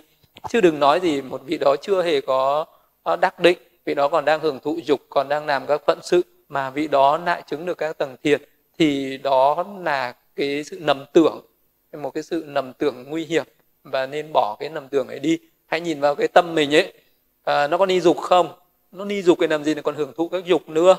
À, nếu như vị đó thật sự chứng các tầng thiền nó ni dục rồi vị đó sẽ tránh né các dục vị đó từ bỏ các dục xa lìa các dục sống độc cư an tịnh vị đó mới giữ được cái pháp thanh tịnh đó. À, ví dụ như là một cái người người ta nhảy người ta đi à, người người ta đang ở trong một cái vũng bùn hố phân à, rồi người ta biết đây là cái hố phân thối. Người ta đã đi ra khỏi hố phân người ta tắm rửa cho nó sạch sẽ. Sạch sẽ rồi nó thanh tịnh rồi vì nó lại nhảy vào hố phân tiếp. Ờ, thì nó lại ô nhiễm trở lại. Cũng như vậy mình có thể là nhảy ra khỏi cái cái đời sống dục lạc đấy. Mình chứng đắc được các tầng thiền nó đã thanh tịnh rồi. Mình lại nhảy vào mình hưởng thụ dục lạc, thì nó lại cái tâm nó lại ô nhiễm trở lại thì cái thanh tịnh nó lại mất đi. Rồi về đó lại nhảy ra để hưởng thụ à, lại lại tiếp tục ờ, hành thiền cho chứng đắc các tầng thiền thì nó cứ nhảy ra nhảy vào nhảy ra nhảy vào như vậy. Còn cái lúc mà mình đang hưởng thụ các cái dục lạc đang làm các phận sự không chứng đắc được á chứng đắc là các tầng thiền đâu đừng có mê lầm đừng có ảo tưởng đừng có bị ngộ nhận. À, và ngày nay rất nhiều bị người đang bị ngộ nhận như vậy. Thì cái con đường đấy là nó trở thành tăng thượng mạng là tà kiến và con đường này sẽ đi đến đoạn xứ ở tương lai đó. Dạ, con Bạch Sư, con xin đọc câu hỏi tiếp theo dẫn từ hành giả Kusanachita. Dạ, con Bạch Sư, thời Đức Phật, các Phật tử tại gia vẫn chứng đắc đạo quả rất nhiều ạ. Là vì sao ạ? Thời Đức Phật chứng đắc các đạo quả là do những cái vị đấy đã có đầy đủ các ba la mật. Tức là những cái vị nào mà người ta đã từng tu tập ở trong giáo pháp của các Đức Phật quá khứ rất là nhiều. À, người ta đã thực hành thiền chỉ, thiền quán à, ví dụ như là thời đức phật kapsapa hay là các cái thời đức phật khác ừ, hoặc là khi ở các cõi chư thiên các cõi phạm thiên người ta đã thực hành thiền chỉ thiền quán người ta đã từng thực hành à, đến tất cả các pháp thiền tuệ đó. À, đến à, đến hành xả trí rồi. Nhưng mà do người ta chưa đủ các ba la mật người ta chưa chứng niết bàn cho nên là người ta đến cái thời này vì cái ba la mật nó đầy đủ người ta gặp đức phật. Để đức phật thuyết một thời pháp do nó Ờ, đủ các yếu tố nhân duyên ờ, nó chín mùi như vậy rồi. Ờ, thì nó sẽ tự sinh ra đạo quả thôi. Đấy là do người ta đã có ba la mật rất là nhiều rồi đấy. Vậy thì người ta mới thành tựu được một cách dễ dàng, đơn giản và nhanh chóng như vậy. Chứ không phải là tự nhiên mà người ta, chứ không phải là thời nào người nào cũng dễ dàng chứng đắc đạo quả như vậy. Có người nói là thời đức phật thời đấy cũng là con người và người ta nghe pháp người ta cũng có thể chứng đạo được. Thì thời nay mình nghe pháp mình chứng đạo được. Thì đâu có khó gì. Thì đúng là như vậy. Nếu như mình có đủ ba la mật thì mới có thể chứng được các cái đạo quả đấy. Nhưng mà có những người chứng được đạo quả rồi thì nó không mất đi. Nhưng mà còn chứng được các cái pháp thiền ấy các cái pháp thiền định ấy thì nó có là cái sự thanh tịnh hóa à, dần dần. Nhưng nó cũng có thể bị ô nhiễm thối nuôi dần dần. Nếu mình cứ sống ở môi trường thanh tịnh mới giữ được cái pháp đó và mình sống ở cái môi trường ô nhiễm thì nó lại bị uh, nó lại bị tiêu uh, mất cái pháp đó. Cái pháp thiền chứng các đạo quả siêu thế nó khác. Còn cái pháp thiền định chứng cái pháp thiền chứng uh, này thì nó lại khác nhau. Hai cái pháp đấy khác nhau. Mình không được nằm tưởng như thế. Dạ, con Bạch Lựa, con xin đọc câu hỏi tiếp theo từ hành giả Tuệ Đức ạ.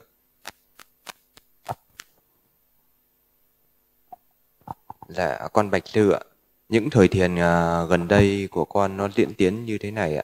đã ngay từ khi bắt đầu thời thiền con đã cảm thấy dễ chịu ở cả thân và tâm. Việc chú tâm vào hơi thở rất dễ dàng. Vọng tưởng tuy còn nhưng không còn nhiều như trước và khi khởi vọng tưởng xuất hiện con tác ý tập trung vào hơi thở. Trong một thời thiền dù ngắn hay dài con luôn tỉnh táo nhận biết hơi thở vào và ra. Khi ngồi được khoảng 5 phút thì con chỉ còn cảm thấy một khoảng không bao la rộng lớn, sáng mờ bao trùm lên toàn bộ thân tâm con. Cảm giác lúc đó rất dễ chịu. Lúc đó con cảm giác như con đang ngẩng đầu lên cao để toàn bộ không gian bao la rộng lớn sáng mờ đó bao trùm ạ. Cảm giác về thân không còn nhiều và con vẫn thấy hơi thở vào ra. Nhưng hình như là đến một lúc nào đó trạng thái đó dần dần quân bình đi ạ. Đến giữa thời thiền con chỉ còn thấy một trạng thái yên ổn nhẹ nhàng, con không cảm thấy khó chịu hay muốn xả thiền. Nhưng cũng không hẳn là an lạc. Lúc con có cảm giác đó thì con vẫn tác ý tập trung vào hơi thở vào ra. Nhưng rồi con cứ ngồi như thế cho đến khi xả thiền ạ. Con xin sư từ bi chỉ dạy cho con ạ. Con xin thành kính tri ân sư ạ. Tất cả những cái hiện tượng đó thì nó cũng rất bình thường, không có cái gì là đặc biệt cả cái mình phải bỏ nằm nơ hết những cái trạng thái đấy đi mình không được uh, đi theo cái tư tưởng nghĩ rằng chỉ còn khoảng không bao na thấy cái ánh sáng lờ mờ mình cũng không có đi theo nó. Mình không nên suy luận phân tích đánh giá uh, tất cả những cái cảm giác những cái hiện tượng nó sinh lên ở trong tâm hay là ở trên thân gì cả. Mà mình có thể phất nờ tất cả những hiện tượng đó đi chỉ có để tâm ở cửa mũi và vẫn nhận biết hơi thở vào ra bình thường. Không cần nhận uh, không nhận định suy luận đánh giá phân tích gì hết. Cứ biết hơi thở vào ra là đủ rồi cần thế thôi. Dạ, con thưa sư, con xin đọc câu hỏi tiếp theo từ hành giả uh, ờ, kính pháp ạ. Dạ, con uh, xin uh, thành kính tri ân sư, đảnh lễ sư ạ. Con xin sư giải đáp lúc qua một số thắc mắc như sau ạ. Trong buổi giảng pháp lần trước thì sư có trả lời rằng một người bị thiếu một căn do bẩm sinh thì không phải người tam nhân nên kiếp này họ không thể tu tập đắc thiền, đắc đạo được. Sư cho con hỏi là nếu một người không phải bị mù bẩm sinh nhưng khi lớn lên thì vì bị tai nạn nên mù, như vậy người đó có thể tu tập, tu tập chứng đắc thiền định đắc đạo quả được không ạ? Có, vị đấy vẫn tu tập được nhá. Những cái vị mà bị tai nạn ờ, thì không vấn đề gì. Miễn là vị đó có trí tuệ, có niềm tin, có tinh tấn, có thực hành thì vẫn chứng đắc được đạo quả như thường. Dạ con thưa sư, con xin đọc câu hỏi tiếp theo từ hành giả tịnh tâm ạ. Dạ con thưa sư, người xuất gia hiểu biết về nhân quả mà vẫn phá giới phạm tội với người tại gia, không hiểu nhân quả nên mới tạo tội thì tội của người nào sẽ nặng hơn ạ? Người mà biết là có tội rồi nhưng mà nếu như bị đó cố tình nào à, thì có thể là cái cái cái cái cái tâm sở tư ấy, nó sẽ nặng hơn một chút tức là bị đó biết là à, làm cái việc này là có tội nhưng mà vẫn cố ý là nó có thể nặng hơn nhưng mà một lúc nào đó cái tâm hổ thẹn nó vẫn có thể khởi lên. À, và cái cái sự tạo cái tội lỗi đó nó có thể có cái quả báo là rơi vào một cái đoạn xứ khổ đau. Nhưng mà đến một lúc nào đó nó sẽ nhanh chóng hết cái quả báo đó và vị đó vẫn trở lại tu tập được. Tức là cái con đường mà vị đó đi đến niết bàn là vẫn vẫn có thể thành tựu được ví dụ như là có những cái vị uh, tỳ kheo những cái vị xuất gia uh, rồi làm những cái việc bất thiện như là tám hòa hợp tăng hay là những cái vị đấy uh, ghen tị với các vị a la hán uh, ờ, rồi tạo nên những cái tội lỗi lớn rồi bị đọa xuống địa ngục. Nhưng mà sau cái thời gian đọa vào địa ngục đấy vị đó vẫn sẽ gặp uh, có nhân duyên gặp những cái vị phật sau này. Và nghe pháp vị đó vẫn chứng đắc được niết bàn. À, đấy là cái lợi thế của một cái người xuất gia là như vậy. Dù vị đó có thể là do cái phiền não uh, nó khởi lên ờ, uh, lúc đấy vị đó không kìm chế được cho nên là tạo những cái tội lỗi. Uh, nhưng mà vẫn có cái lợi thế là con đường đi đến niết bàn chưa bị đóng lại hoàn toàn. Trả xong cái quả báo tội lỗi đấy vẫn có thể chứng đắc niết bàn tương lai. Nhưng còn một cái người tại gia không hiểu nhân quả người ta tạo tội lỗi. Thì uh, vì cái tâm sở tư người ta nghĩ rằng những cái tội lỗi là bình thường cho nên người ta làm với cái tâm nó rất là thản nhiên. Có thể cái quả báo nó không quá nặng nề nhưng mà nó rất là dai dẳng nó rất là dai dẳng. Ví dụ như là có thể vị đó sẽ tái sinh vào súc sinh, rồi sinh lại nằm người rồi để súc lại súc sinh để à, nó cứ luồn quẩn ở trong sinh tử như thế. Và cái con đường đi đến chấm dứt khổ đau của cái người thế tục ấy, cái người không hiểu nhân quả đấy là chưa chưa biết đến ngày nào mới dừng lại. Là vì đó cứ trôi nan ở trong sinh tử, hoài hoài, mãi mãi như vậy. Vậy thì à, dù à, là cái người xuất gia có tạo tội lỗi thì cái cơ hội chấm dứt khổ đau vẫn còn còn cái người tại gia không biết nhân quả tạo tội lỗi thì không biết đến ngày nào mới ra khỏi khổ đau ờ, nó hai cái người đấy nó có khác nhau như thế Dạ, con thưa sư, con xin đọc câu hỏi tiếp theo từ hành giả kính pháp ạ. Dạ, con kính đảnh lễ sư ạ, con hành thiền niệm hơi thở thì được khoảng 20 phút con thấy có ánh sáng. Con đã thử nhiều lần ngồi trong bóng tối để xem có phải là ánh sáng từ bên ngoài không thì vẫn thấy có ánh sáng. Ờ, Những lúc đó con cảm thấy con vẫn thấy ánh sáng dường như tụ lại xung quanh mắt con dù là con ngồi trong phòng tối và sáng lên. Khi đi ngủ thì con nhắm mắt lại cũng thấy ánh sáng mờ mờ trước mặt, dù có che mắt lại con vẫn cảm thấy được ánh sáng mờ mờ ạ. À. Con đọc sách và nghe sư trả lời thì ánh sáng phải được nhìn thấy từ tâm nên con sinh nghi ngờ không biết cái ánh sáng con thấy ở trong phòng tối có phải là ánh sáng do sự tập trung trên đề mục thiền không ạ? Và từ lúc có nghi ngờ này thì con cảm thấy ánh sáng con thấy được rất khó rực sáng lên mặc dù trước đây con ánh thấy ánh sáng rực rỡ ạ. Con xin sư giải đáp và hướng dẫn con tu tập tiếp ạ. Con xin đúng rồi khi mà khởi lên cái hoài nghi đấy nhá là ánh sáng nó sẽ yếu đi. À, vì đấy hoài nghi nó một trong năm triển cái mà. Khởi lên tham dục sân hận hôn trầm thụy miên dạo hối hoài nghi thì những cái tâm đấy nó sẽ làm cho cái định bị yếu đi. Không nên hoài nghi thì à, bây giờ cứ nên thực hành thôi. Nhờ à, thấy như vậy thì nó là như vậy. Mình không cần nhận định không cần suy luận phân tích đánh giá uh, so sánh gì cả mà cứ tiếp tục ngồi và không cần đi theo ánh sáng không cần tác ý suy nghĩ xem ánh sáng này nó là cái gì nó giống cái gì không cần phải thử nghiệm để chứng minh chứng tỏ gì hết. Tất cả những cái sự thử nghiệm ngồi chỗ tối chỗ sáng để xem nó có thật hay không thật những cái thứ đấy là thừa không cần thiết. Đừng làm những cái việc đó là chạo cử là phóng dật đó. À, là năng xăng làm cho cái điều đó chỉ yếu đi mà mình nên tinh tấn thực hành nên kiên nhẫn nên cam nhẫn cứ tiếp tục thực hành đi. Rồi à, càng ngày cái ánh sáng đó nó sẽ càng rõ hơn nó càng sáng hơn nó càng mạnh hơn. Rồi mình trải qua một thời gian lâu dài à, như vậy thì cái tự động cái niềm tin nó sẽ tăng lên. Còn đúng là cái người mới sơ cơ mới bắt đầu có một chút ánh sáng thì sẽ hay mắc vào những cái sai lầm. Thứ nhất là hoài nghi và thứ hai là sinh ra thử nghiệm để chứng thực là nó có thật hay không. Đấy, và cái thứ ba là bắt đầu sinh ra cái sự hoang mang à, nó nắng này là làm sao để giữ được nó làm sao phát triển được nó. À, thì tất cả những cái đấy nó sẽ khiến cho uh, cái ánh sáng ấy nó kém đi nên mình phải bỏ qua được hết những cái điều đó. À, và cứ tiếp tục quan sát hơi thở bình thường đi thì nó sẽ tốt hơn. Dạ, con Bạch Sư ạ, con xin đọc câu hỏi tiếp theo từ hành giả Phan Thị Huế ạ. Dạ, con xin à, chào thầy ạ. Thầy cho con hỏi là con muốn quy Tam Bảo ở trên chùa Phúc Minh thì con phải làm gì ạ? Và khi quy Tam Bảo thì con phải tu tập những gì ạ? Xin thầy chỉ bảo con ạ, con xin được chi ân Nếu muốn quy Tam Bảo thì hãy đến chùa Ờ, vào những cái ngày giới là tốt nhất tháng 4 ngày ấy, ngày mùng 8, ngày 15, ngày 23, ngày 30 vào cái giờ xin giới đấy ờ, cứ đến đây để, để ờ, quy tôi thì nếu trước khi quy mình học được mấy cái cái những cái câu uh, quy y bằng tiếng Bani thì tốt nhất. Uh, học trước vài hôm thì càng tốt. Uh, để đến lúc mình đọc cho nó đúng cái âm điệu thôi. Uh, khi quy tam bảo xong rồi thì mình cần phải giữ năm giới. Không sát sinh trộm cắp không tà dâm nói dối không uống rượu. Đấy là cái quy định thứ nhất còn nếu như có điều kiện có thể có khả năng nữa thì nên giữ bắt quan trai giới vào những ngày trai giới. Mùng 8, 15, 23, 30 thì mình nên giữ thọ trì được bát quan trai giới thì càng tốt. À, còn à, cái điều đó là không bắt buộc. Còn à, nếu mình có điều kiện hơn nữa thì à, tập một à, thỉnh thoảng à, hành thiền. Hàng ngày nên dành ra một hai thời hành thiền nghe pháp.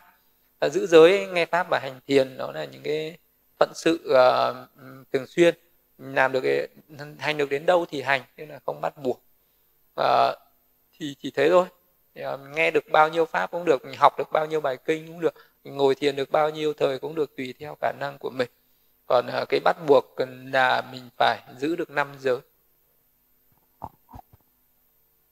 Dạ, con Bạch Sư, con xin đọc câu hỏi tiếp theo từ hành giả Thu Ngân ạ. Dạ, con xin đảnh lễ sư ạ. Kính xin sư chỉ dạy cho con theo bài kinh sư mới giảng con hiểu như sau chưa đắc thiền vẫn có thể chứng được sơ quả. Vị ấy vẫn còn tham còn thân còn si nhưng đã chắc chắn không còn bị tái sinh vào bốn cõi khổ chúng con hiện vẫn còn ở đời sống tại gia không thể đắc các tầng thiền vì không dứt bỏ được các phận sự. Vẫn ở đời sống tại gia xin kính mong tư chỉ tại chúng con có thể thực hành giống vị thánh cư sĩ. À, ma hà nà ma có được không ạ? Con xin thành kính tri sư ạ à, để mà thánh để mà trở được thành những cái vị uh, thánh đệ tử uh, như thời đức phật ấy, thì mình phải phát nguyện. Tức là mình, mình cũng phải uh, tu tập những cái pháp thiền chỉ quán uh, ở cái đời này ở cái đời này mà phải phát triển được thiền tuệ phát triển được thiền định uh, rồi hoặc là phát triển thiền tuệ đến hành xả trí. Xong là mình phát nguyện là sẽ chứng đắc uh, đạo quả uh, ở, ở trong giáo pháp của đức phật ở tương lai. Cái thời bây giờ mà chỉ nghe pháp mà đắc đạo được như thời Đức Phật ấy. Ờ, bởi vì thời Đức Phật là những cái vị đấy là những vị người ta đã có đủ ba la mật.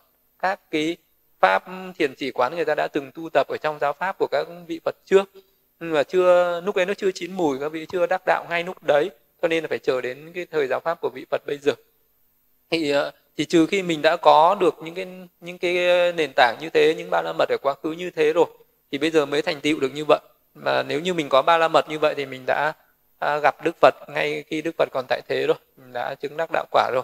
Cho nên là à, đến cái thời bây giờ cách Phật mấy nghìn năm rồi mình mới gặp Phật thì chứng tỏ rằng cái ba la mật của mình không cao.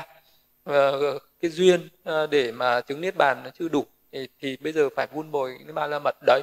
Bằng cái cách là nỗ lực thực hành thiền chỉ quán và nỗ lực thực hành các cái pháp giới định tuệ đó. Thì con giới định tuệ là con đường đi đến niết bàn nhanh nhất thì phải thực hành như thế rồi cái điều đó nó sẽ thành tựu ở tương lai nó không thể thành tựu như mình mong cầu mong muốn được. Không phải là mình muốn mà mà nó được ngay mà nó phải ờ, nuôi dưỡng vun bồi dần dần. À, đấy thì cũng có những người người ta chưa có chứng được thiền định người ta nghe pháp người ta vẫn chứng được đạo quả là cái chuyện đó cũng có. Ờ, nhưng mà mình mong muốn được như vậy vì người ta trong quá khứ người ta chứng thiền chỉ quán rồi chứ không phải là như có một cách tự nhiên đâu nên là bây giờ mình vẫn nỗ lực thực hành thiền chỉ thiền quán đi nó không thành tựu được ở hiện tại nó cũng sẽ thành tựu được ở tương lai Dạ con Bạch Thư con xin đọc câu hỏi tiếp theo từ hành giả Tiệp Luy Trần ạ. Dạ con uh, xin kính chào thầy ạ. Xin uh, thư cho con hỏi rằng là ở chùa mình uh, có nhận thiền sinh vào dịp Tết Nguyên đán không ạ? Con muốn được Tết này đến chùa tu tập ạ. Có, có thể được.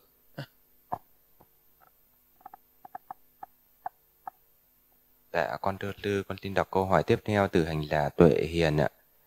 Dạ, con thưa sư, thế nào là vị ngọt, sự hiểm nguy, sự xuất ly đối với những người có nhiều danh vọng, chức quyền và tài sản ạ? Người có nhiều danh vọng, chức quyền và tài sản thì đó nó cũng có nhé, có vị ngọt, uh, có sự hiểm nguy hay là có ừ, cũng có thể xuất ly được. Ví dụ như là những cái người mà có những cái chức quyền lớn như là được làm những cái cán bộ lớn hay chức cái quan lớn ấy thì đấy cũng là một cái vị ngọt vị ngọt tức là được mọi người phải cung kính uh, có nhiều cái danh vọng có nhiều tài sản mình uh, dễ dàng được hưởng thụ. Uh, những cái điều mà mình mong muốn thì đó cũng có thể được gọi là vị ngọt nhưng mà nó cũng có nguy hiểm. Cũng có nguy hiểm là có thể là từ cái danh vọng chức quyền đấy mình bị tham đắm quá rồi sinh ra cái tâm gọi là mình làm những cái việc như là tham ô nhận sự hối nộ làm những cái việc sai trái với pháp luật đến lúc thanh tra người ta phát hiện ra người ta lại tống tù xong là người ta lại nhốt người ta lại uh, tra tấn đánh đập xong là mình lại phải mất rất nhiều năm ngồi tù tội. Đấy là nguy hiểm đấy là sự nguy hiểm của cái danh vọng. Còn uh, nếu mà muốn suốt ni ra khỏi những cái danh vọng đấy thì mình luôn luôn phải uh, cảnh giác phải tỉnh giác phải không tham đắm mà và nó có rất là nhiều những cái cạm bẫy. Có thể là do mình tham đắm mà gây ra cũng có thể là do người khác người ta ganh tị người ta cài bẫy khiến cho mình uh, bị rơi vào. Uh, những cái nao ní tù tội không uh, khó mà tránh khỏi. Mình đã đi trên cái con đường uh, có càng có nhiều vị ngọt thì sẽ càng có nhiều nguy hiểm.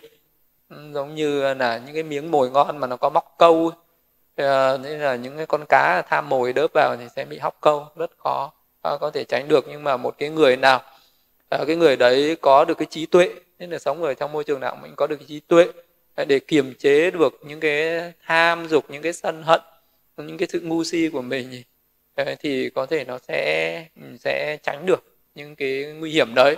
Về những cái người có danh vọng cũng có những cái vị ngọt có sự nguy hiểm. À, thì cũng cần phải chế ngự những cái, cái tâm tham sân si của mình phát triển cái trí tuệ ờ, cái vô tham vô sân vô si nên thì có thể tránh được.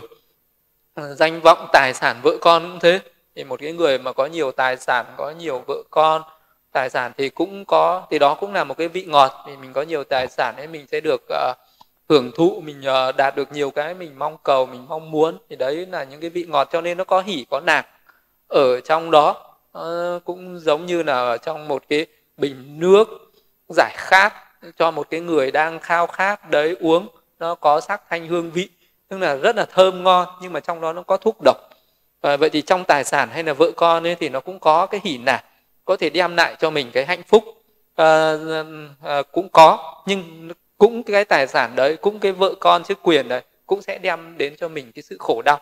Ví dụ càng nhiều tài sản thì mình no nắng để tích góp được rồi lại no nắng giữ gì cũng như thế vợ con cũng vậy. À, mình à, mong cầu để có vợ có con xong rồi cũng phải no nắng giữ gì nhưng mà có giữ đến đâu thì giữ đến lúc nó mất nó vẫn mất à, tài sản của mình đến một lúc nào đó nó cũng phải mất đi vợ con lúc nào đó cũng phải già phải bệnh phải chết đi. À, hoặc là à, người ta làm những cái việc à, xấu xa người ta có những cái sự tranh cãi đánh đóng chửi nhau thì đó cũng là cái nguy hiểm. Thì mình sẽ thấy được là trong cái gì nó có cái sự hấp dẫn chạy theo cái dục đấy thì chắc chắn là dục sẽ có có hỉ có đạc thì cũng có khổ có yêu. À, vì vậy nên là muốn suốt ni ra được rồi. Và những cái nguy hiểm đấy thì mình phải uh, phát triển cái tuệ quán ấy. Quán ví dụ như là vợ con hay tất cả những người thân của mình hay là những người mình yêu mình ghét. Phải quán là họ là chủ nhân của nghiệp là thừa tự của nghiệp. Uh, để uh, không có quá dính mắc không quá ràng buộc. Đấy là cũng là một cái cách quán để mình suốt ni. Hay là mình luôn luôn quán về cái nghiệp và quả của nghiệp như thế đối với bản thân mình đối với mọi người xung quanh đối với vạn vật xung quanh. Thì mình quán nó là đất nước nửa gió những cái gì nó thuộc về vật chất ấy tài sản ấy mình có nhiều uh, nhà cửa nhiều nhá uh, rồi là tiền bạc nhiều nhá rồi là uh, vàng bạc ấy. mình phải quán nó là đất là nước là nửa là gió vì thật sự là những cái đấy nó chỉ là đất nước nửa gió nó tạo thành thôi mà ví dụ đất nó, nó nằm lâu năm quá nó thành uh, đá thì nó thành vàng thành bạc thành kim cương nó chỉ là cái sự thời tiết nó thay đổi nó biến cái này thành cái kia thôi thì tiền của ờ, nhà cửa này cũng thế nó là đất nước lửa gió người ta đúc lại người ta xây lên người ta nặn nó thành cái hình này hình kia. Quán nó như thế mình thấy cái bản chất cái sự thật của nó như thế thì được mình không có tham đắm mất mình không có sợ hãi. À, còn à, tất cả mọi người khác mình cũng quán là à, năm uẩn là danh là sắc là vô thường là cái gì nó có đến có đi có sinh có diệt à, có được có mất. Thì khi mà quán như thế thì mình sẽ tự tại. Khi mà nó có tăng trưởng uh, tài sản tăng trưởng bà con quyến thuộc uh, tăng trưởng danh vọng chức quyền thì mình cũng không quá ngã mạn không quá kiêu sang không quá tham ái không quá tính mắc không quá chấp thủ. À, rồi khi nó mất đi mình cũng sẽ không quá buồn phiền không quá ưu bi không quá khổ sở. Vậy thì uh, phải học pháp và phải thực hành những cái pháp uh, thiền tuệ thiền quán phải có những cái cái tránh kiến để mình như lý tác ý. Thì mình phải học pháp phải thực hành pháp tư duy theo cái pháp của phật ấy thì mình sẽ có được cái trí tuệ đấy để mà tự tại tự tại ờ, giữa đời ấy. nên là à, có dục và mình có những cái tài sản quyền lực vợ con ấy cũng không quá là ngã mạn thích thú tham đắm. Khi mất đi rồi bằng cách này hay cách khác nó sẽ mất đi mình cũng không quá sầu bi khổ yêu não thì đó là cái cách suốt ni ờ, suốt ni ra khỏi những cái vị ngọt đấy suốt ni ra khỏi cái nguy hiểm đó. Dạ, con thưa sư, con xin đọc câu hỏi tiếp theo từ thành là Tuệ Hiền ạ. Dạ, con thưa sư, thế nào là vị ngọt, sự hiểm nguy, sự xuất ly đối với các tầng thiền của những hành giả tu thiền ạ? Đối với những người đã tu thiền chứng đắc các tầng thiền, đúng là cũng có vị ngọt, có sự nguy hiểm và có sự xuất ly. Không phải là không có. Nhưng mà cái vị ngọt ở các tầng thiền nó còn cao thượng hơn, thủ thắng hơn vị ngọt của các cái ngũ dục thế gian. Nhưng mà các ngũ dục thế gian nó mình đã cảm thấy hấp dẫn rồi. Nó uh, khi mà mình tham đắm mình đã cảm thấy không muốn chán rồi. Uh, nhưng mà so với các pháp các tầng thiền ấy thì nó còn thấp kém hơn nhiều. Với một người chứng được uh, sơ thiền nhị thiền tam thiền tứ thiền ấy thì vị đó ni được cái dục uh, ở thế gian. Uh, ni bất thiện pháp và chứng được một cái trạng thái hỉ nạc do ni dục sinh. Toàn thân vị đó thấm nhuần sự hỉ nạc do ni dục sinh đó. Không một chỗ nào trên toàn thân là không thấm nhuần cái sự hỉ nạc đó đó là một cái sự à, một cái cảm thọ. À, nó rất là sung mãn nó rất là cao thượng vẫn rất là vi diệu và vì nó có thể an trú ở trong đó suốt ngày suốt đêm bảy ngày bảy đêm không nhúc nhích. Vì cái sự cảm thọ đó nó rất là cao thượng như vậy cho nên cũng có nhiều người bị đắm chìm vào trong đó và không thoát ra được. Cứ an trú ở đấy rồi khi chết lại sinh về cõi phạm thiên. Thì uh, đấy là cái cái vị ngọt của cái tầng thiền và cái sự nguy hiểm của các tầng thiền đó chính là cái sự chấp thủ chấp thủ vào các cái vị ngọt đó. Ví dụ như là khi vị đó chứng được tầng thiền vị đó cũng có người sẽ sinh ra cái ngã mạn nhé à, khen mình chê người là ta chứng được tầng thiền đây còn người kia không chứng được tầng thiền. Và lúc đấy cái nhiều cái người nhất là những người còn là phạm phu uh, khi chứng được các tầng thiền đấy họ sẽ rất là ngã mạn họ sẽ khinh những cái người khác coi thường những người khác và thấy những cái người hưởng thụ dục lạc kia là những cái gì đó rất là khinh thường và rất là đáng thấp kém. Và nghĩ rằng cái sự uh, chứng đắc các tầng thiền như mình mới là cao thượng. Thì đấy là cái sự nguy hiểm là mình dễ sinh ra cái ngã mạn sinh ra, sinh ra cái sự khen mình chê người đấy là có cũng có sự nguy hiểm như vậy. Và cái sự nguy hiểm thứ hai là mình chấp thủ vào cái tầng thiền đấy. Mình đắm chìm ở trong đấy và không muốn suốt ra để thực hành những cái pháp cao thượng hơn. Đó là cái sự nguy hiểm của những cái tầng thiền và cái sự suốt ni của các tầng thiền đó là một cái người đấy sẽ trú trên tầng thiền một chút xíu đủ vừa đủ à, cái định sung mãn thôi. Sau đó vị đó sẽ xuất khởi khỏi tầng thiền đó. Vị đó phân tích ra những cái pháp nó cấu thành cái tầng thiền đó. Đó là những cái danh pháp và sắc pháp và sơ thiền. Nó có những cái nộ uh, tâm như là chuẩn bị cận hành thuận thứ chuyển tộc an chỉ. Rồi vị đó thấy được cái tính sinh diệt của cái tầng thiền đó nó sinh nên nó diệt đi cho nên vị nó thấy được cái sự vô thường thấy được cái khổ thấy được cái vô ngã của cái tầng thiền đó sơ thiền nhị thiền tam thiền tứ thiền tất cả các tầng thiền vị đó đều phải thực hành như thế. Vị đó chú vào đó một chút rồi vị đó phải xuất ra vị đó phải quán cái pháp hữu vi nó nó nó uh, cấu thành cái tầng thiền đó và vị đó quán cái sự thật của nó. Đó là cái sự vô thường khổ vô ngã của cái danh pháp của cái sắc pháp đó thì vị đó không tham ái không chấp thủ không đắm nhiễm vào các tầng thiền đó vị đó sẽ được giải thoát khỏi cái sự tham ái chấp thủ đấy đấy là sự suốt ni đối với các tầng thiền và đấy cũng là cái con đường đi đến niết bàn chấm dứt khổ đau Dạ, con thưa sư, con xin đọc câu hỏi tiếp theo từ hành là Tuệ Hiền ạ. Dạ, con thưa sư, ở các chùa miền Bắc thường thờ Đức Chúa Ông, Đức Thánh Hiền, tượng hộ Pháp, Phật ngàn tay ngàn mắt. Các vị ấy có lịch sử, có sự thật không hay có ý nghĩa như thế nào ạ? À, đúng là các chùa miền Bắc mình là có ngoài thờ Phật ra thì còn thờ vô số các hình tượng khác nữa. À, các cái vị à, à, trong đó thì còn nếu mà nói là cái sự à, mà nó phổ thông nhất và nó nổi tiếng nhất và nó có cái sự ảnh hưởng đến tín ngưỡng dân gian của người dân à, các cái vùng quê nhất là người miền Bắc này nhất đó là hình tượng Đức Chúa Ông và Đức Thánh Hiền thì thực ra thì uh, Đức Phật ờ, không có dạy là thờ Đức Chúa Ông và Đức Thánh Hiền đâu đấy. Thì thường, thường thường cái thời đầu là chỉ thờ Đức Phật thôi. Nhưng về sau này vì cái do cái tín ngưỡng dân gian Việt Nam uh, nghĩ là thờ Đức Chúa Ông thì Đức Chúa Ông là là một cái vị cư sĩ Phật tử là cái người đã cúng cái mảnh đất kỳ viên ấy. Uh, và người đã dùng rất là nhiều vàng bạc để mua một cái mảnh đất của Thái tử Kỳ Đà và xây dựng nên cái ngôi tịnh xá à, cho Đức Phật thuyết pháp gọi là cái tịnh xá Chetavana là Kỳ Đà Viên. Đấy là cái ngôi chùa rất là lớn thời Đức Phật và cúng dường cho Đức Phật. Thì um, người ta thờ Đức Chúa Ông thì với một cái ý nghĩ với một cái sự khuyến khích à, những cái người dân à, đó là những cái người nào cúng dường cái việc xây chùa tô tượng Đức chúa sẽ được ghi nhớ như vậy. Tức là giống như là đấy đây là một cái tấm gương à, Đức Chúa Ông này là một cái tấm gương một cái người đã cúng đất để xây chùa. Vì vậy cho nên là à, những người dân hãy lấy đó làm gương hãy hiến đất vào chùa rồi cũng sẽ được tôn thờ sẽ được tưởng nhớ mãi mãi như vậy. Đấy là cái cái mục đích mà để thờ lên đức chúa ông là như vậy. Thế nên người ta có những cái tín ngưỡng là đức chúa ông được gọi là ông cấp cô độc. Cấp cô độc tức là ông hay cấp dưỡng cho những cái người cô đơn ấy những người cô độc những cái trẻ em mồ côi những trẻ em mồ côi cô đơn cô độc là ông ấy nuôi dưỡng ông nuôi dưỡng chăm sóc giống như là những cái ờ, bệnh uh, giống như là thời bây giờ có những cái những những cái trại cô nhi ấy, uh, thì ở thời ông cấp cô độc với ông nào người đại phú triệu phú nên ông có nhiều tài sản ông cũng hay cấp dưỡng cho những cái người như thế.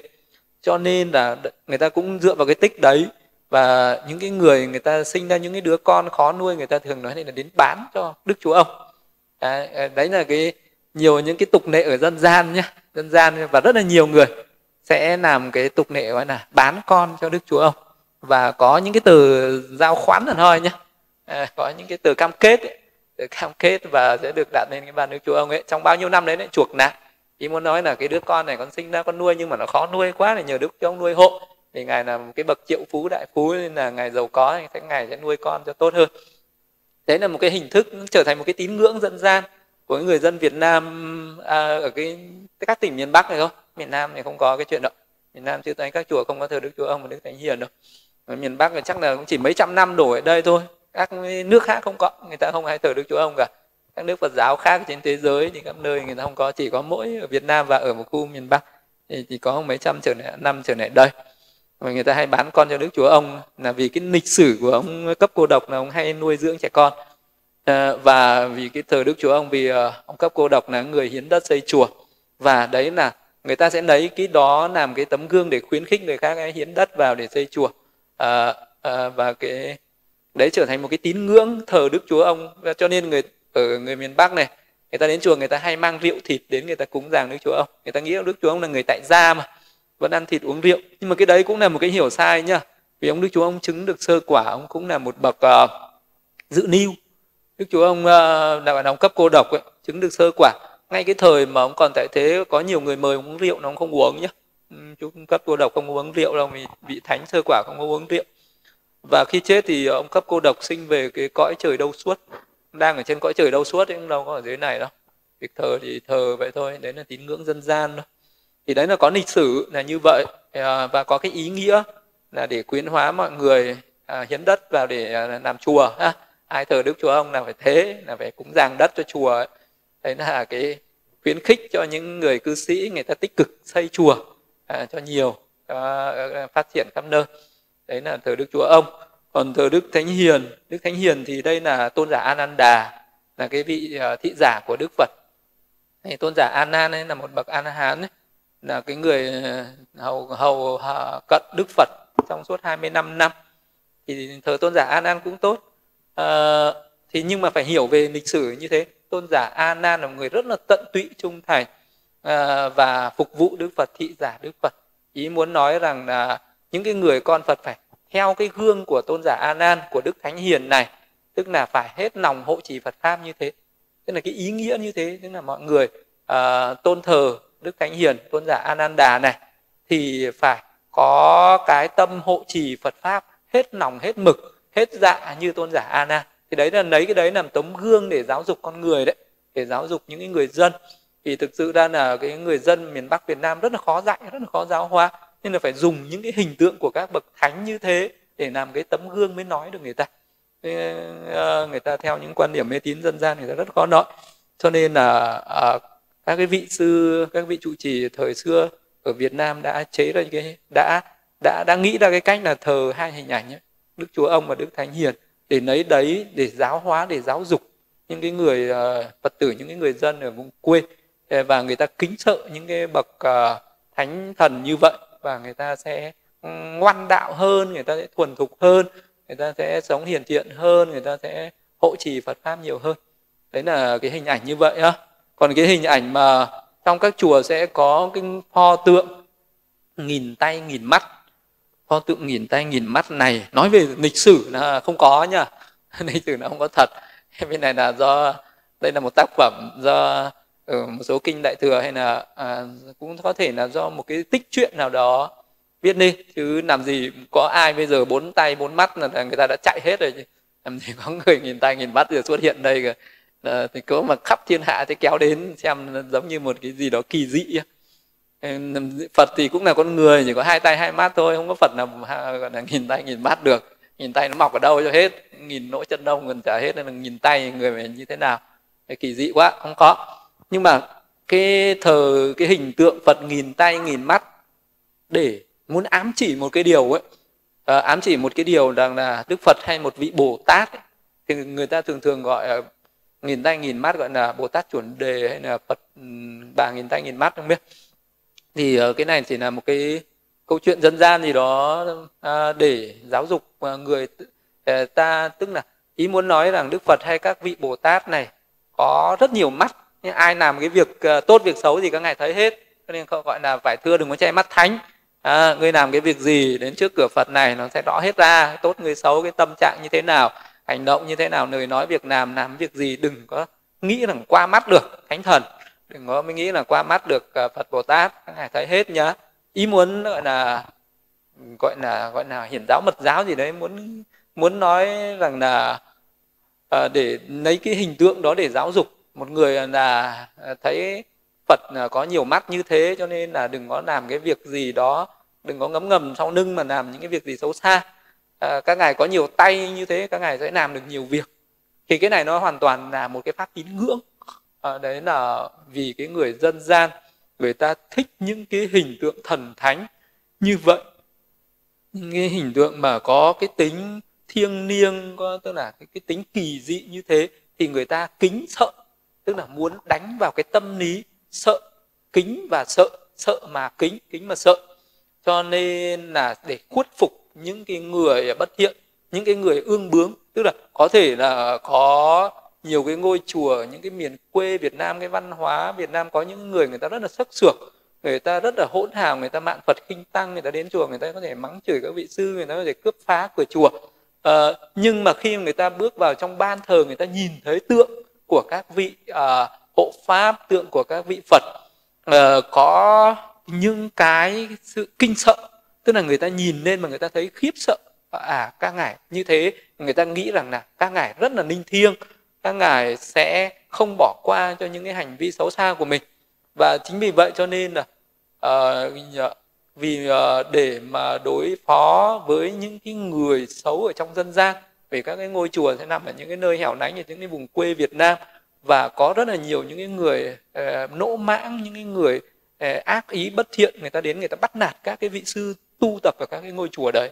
Thật sự là các cái vị sư tu tập ở những cái vùng quê Việt Nam rất là khổ với những cái người dân về những cái người trí thức thì người ta rất là kính trọng các cái người tu hành. Nhưng mà những cái người gọi là vô đạo đức vô trí thức những cái người gọi là đầu trộm đuôi cướp những cái người ác nhân bất thiện ấy thì người ta lại cứ đến chùa người ta bắt nạt các vị sư à. Người ta đè đầu cưỡi cổ người ta uy hiếp rồi người ta chửi mắng rồi người ta à, gây khó sự à, gây sự khó dễ.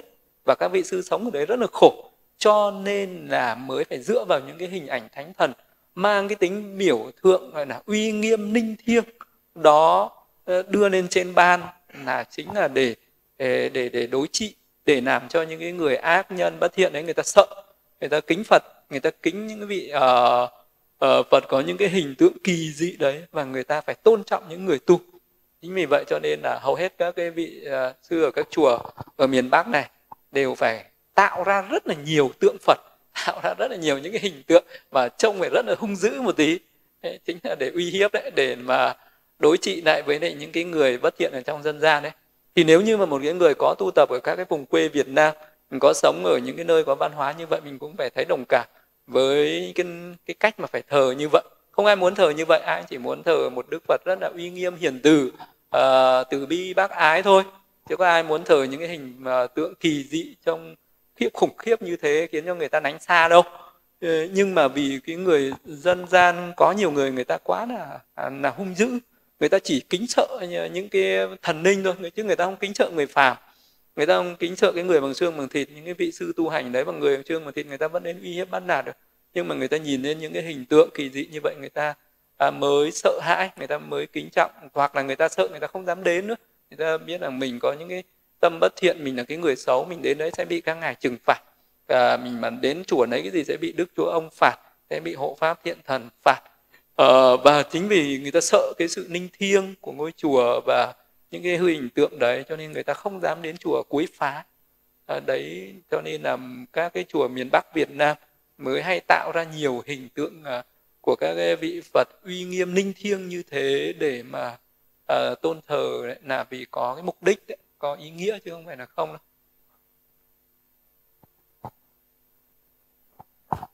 Dạ, con thưa sư, con xin đọc câu hỏi tiếp theo từ hành là Tuệ Hiền ạ.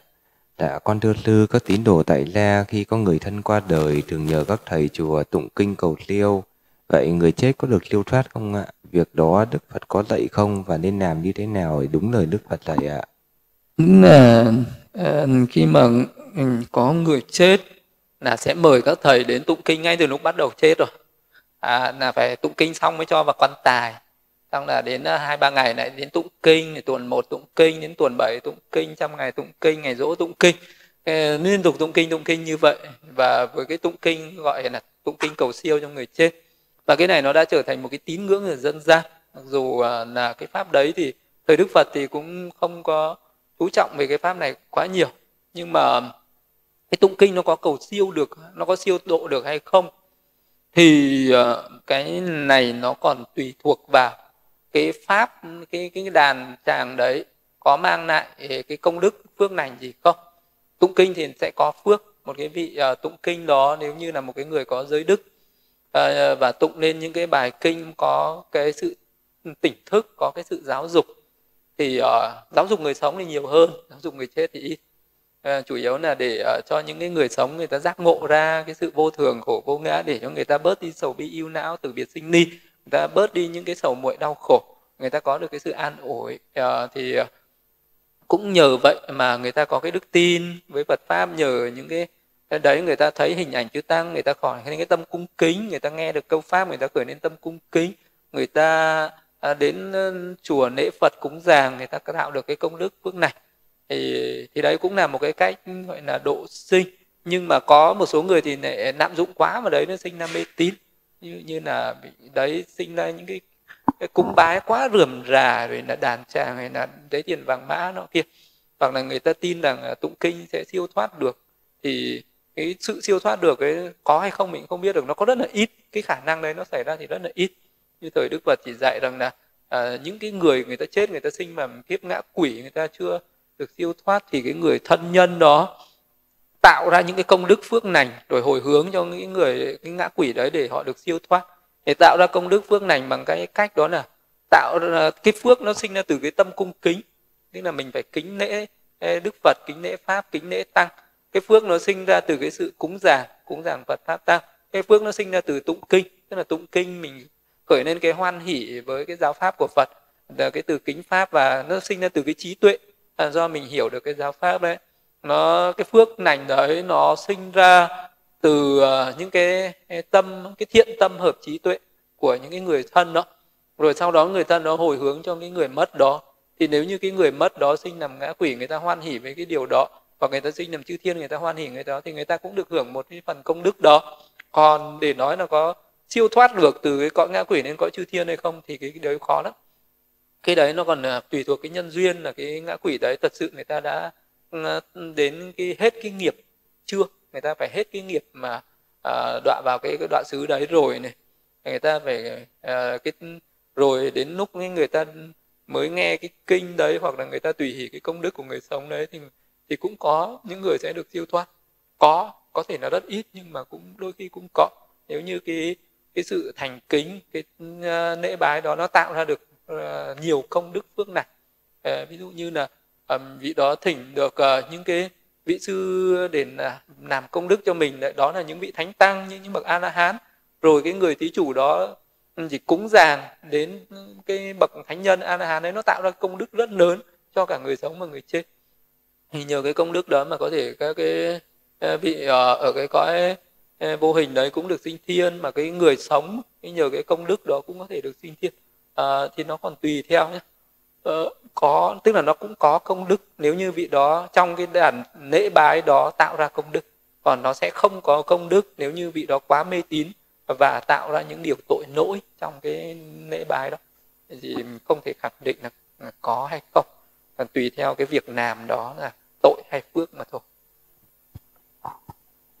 Dạ con thưa sư, con xin đọc câu hỏi tiếp theo từ hành là Tuệ Bảo ạ là con thượng, con bạch sư, một người tại gia chứng đắc sơ nhị quả vẫn hưởng thụ các lục, vẫn bị tham sân si chi phối như vậy thì họ có tạo ác nghiệp không? Tại sao họ không bị sinh vào các cõi khổ ạ? kinh ờ, người à, tại gia mà chứng được sơ quả nhị quả vẫn còn tham sân si cái lúc tham sân si ấy, đôi khi người ta cũng nói ra những cái lời bất thiện đôi khi người ta cũng làm những việc bất thiện nhưng những cái lời nói và những cái việc làm bất thiện đó nó đi với cái tâm bất thiện rất là yếu chứ nó không đi về tâm bất thiện lớn. Bởi vì lúc đấy cái tham sân si nó có khởi lên nhưng nó yếu chứ nó không mạnh. Nó rất là yếu chứ nó không mạnh. Và trong cái lúc vị đó khởi lên cái tâm tham sân vị đã biết tham sân si này là xấu rồi. À, cho nên là à, khi nó phát ra thành những cái hành động thì nó cũng khởi lên nó trở thành những cái hành động rất là vi tế thôi. Tức là rất là yếu chứ không mạnh. Những cái tâm những cái tốc hành tâm bất thiện đó nó luôn bị những cái trí tuệ nhận diện ra. Và đây là xấu, đây là bất thiện. Cho nên nó không đủ mạnh để cho vị đó sinh vào cõi ác. Tức là để mà sinh vào những cái đoạn xứ thì những cái tham sân si đó nó phải khởi lên rất là mạnh và nó đi kèm với tà kiến. Ví dụ như một cái người người ta hưởng thụ dục lạc người ta nghĩ rằng dục lạc này là là đáng để hưởng thụ, người ta tham ái và người ta tất chấp thủ với cái tham dục đấy, thì người ta hưởng thụ dục lạc với tà kiến người ta khởi lên cái sân hận người ta nghĩ rằng mình phải hại người này hại người kia và điều đó là cái việc đáng là thế đấy là cái tâm sân cái hành động bất thiện nó đi với tà kiến. Vì tất cả những cái hành hành động bất thiện nó đi với tà kiến nó mới khiến cho một người đọa giống đọa sự. còn những cái còn đối với các bậc thánh đệ tử uh, sơ quả nhị quả còn tham dục còn sân hận. Nhưng khi nó khởi lên cái tâm tham dục sân hận đấy vì nó luôn luôn có trí tuệ nó đi kèm luôn luôn có tránh ngữ tránh nghiệp tránh mạng uh, nó đã sinh khởi, nó đã thể nhập rồi. Cho nên vị đó có những cái nỗi nầm thì nó rất là yếu, nó rất là nhỏ, nó không đáng để vị đó phải đọa vào địa ngục nữa. Và nhất là trong thời điểm cận tử, vị đó cũng vì cái chánh niệm nó mạnh, cái trí tuệ đấy nó mạnh, cho nên là vị đó không bắt, cái tâm ờ, đấy nó không bắt vào những cái hành động bất thiện, mà nó sẽ bắt vào những hành động thiện. Cho nên vị đó sẽ tái sinh lại làm người hoặc chư thiên, chứ không bao giờ tái sinh xuống đoạn xứ được đấy là với một người chứng đạo quả là vậy Dạ con Bạch Sư con xin đọc câu hỏi tiếp theo từ hành là Tuệ Bảo ạ. Dạ con Bạch Sư làm sao để biết được một người khác đã chứng thánh quả nếu mình không biết họ là bậc thánh nên đã hủy báng xúc phạm họ thì quả báo sẽ như thế nào ạ? Ờ, một người biết được một người khác là bậc thánh rất là khó, rất là không thể biết được. Như thời Đức Phật thì chỉ có khi Đức Phật còn tại thế thì Đức Phật mới tuyên bố vị này là thánh nhân, vị này đã chứng sơ quả, nhị quả, tam quả, tứ quả. Còn khi mà Đức Phật vào niết bàn rồi không ai tuyên bố nữa. Bởi vì ừ, tuyên bố ra người này tuyên bố người khác cũng sẽ tuyên bố người khác sẽ lợi dụng. Và có những người còn là phàm nhân vì tham danh vọng chức quyền tham danh vọng lợi dưỡng người ta chưa chứng người ta cũng tự tuyên bố để người ta được cái sự cung kính. Cho nên từ khi đức phật nhập niết bàn không ai tuyên bố rằng người này chứng đạo quả gì cả. À, và rất ít người khác biết rằng đây là cái vị này là thánh nhân. Ờ, hay là phàm nhân mà nhất là những cái vị thánh nhân uh, mà người ta uh, vẫn còn tham sân si thì người khác vẫn cứ nghĩ rằng vị này là phàm nhân thôi chứ không thể uh, nghĩ rằng vị này là thánh nhân được. Ừ, vì vậy cho nên là uh, để mà biết được cái vị đó là thánh nhân hay không thì chỉ có thánh nhân mới biết thánh nhân. Thì mình phải tu tập chứng thánh nhân thì mới biết. Uh, mình là phàm nhân sao biết được. Nên là hãy sống tôn trọng với mọi người thôi nhất là với những người có học pháp có thực hành pháp có sống theo pháp. Thì uh, thì hãy tôn trọng cái sự học pháp hành pháp của cái vị đó để mình không có phạm lỗi khi vào là xúc phạm thánh nhân. Còn nếu như dù vô tình hay cố ý mình xúc phạm một vị thánh nhân rồi thì sẽ bị quả báo nhãn tiền ngay tức thì. À, không bị quả báo nhãn tiền thì cũng bị cái quả báo đọa và đọa xứ ở tương lai. Nếu như một người đó mình tưởng người này là phạm nhân rồi mình hủy báng xúc phạm.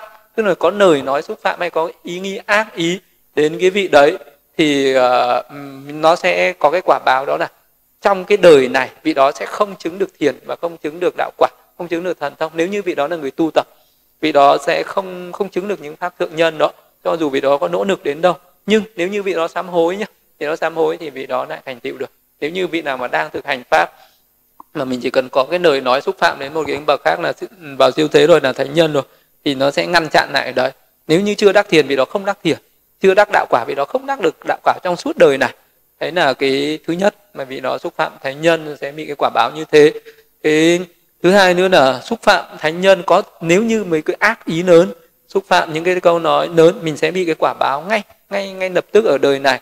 Đó là sẽ bị cái quả báo gặp những cái họa ngay lập tức có thể là mình sẽ mắc một cái tai nạn nào đó gặp một cái tai nạn nào đó về thân uh, hoặc là mình uh, sẽ bị mất mát về tài sản uh, hoặc là bị nửa nó đốt cháy nước cuốn trôi trộm cướp uh, hoặc là bệnh tật. Tức là mình sẽ mắc một cái bệnh tật nào đó mắc một cái tai họa nào đó về vua quan. Tức là mình sẽ phạm một cái tội nào đó và bị bắt bị uh, bị bắt đi tù tội. Uh, tức là mình sẽ bị uh, mang một cái tiếng ô nhiễm nào đó. Tức là mình sẽ rơi vào một cái tiếng xấu nào đó. Uh, tức là sẽ bị cái quả báo tức là một trong 10 cái quả báo nó sẽ uh, đến ngay ngay trước mắt. Thế là xúc phạm thánh nhân thì sau khi xúc phạm xong sớm hoặc muộn mình sẽ bị cái quả báo nhãn tiền. Và cái quả báo thứ hai nữa là nếu như mình không sám hối hoặc là những cái tâm bất thiện đó nó không được uh, đoạn trừ đi thì đến lúc chết sẽ đoạn vào địa ngục và sẽ đỡ thẳng vào địa ngục này. Đấy là cái tội xúc phạm thành nhân sẽ như thế.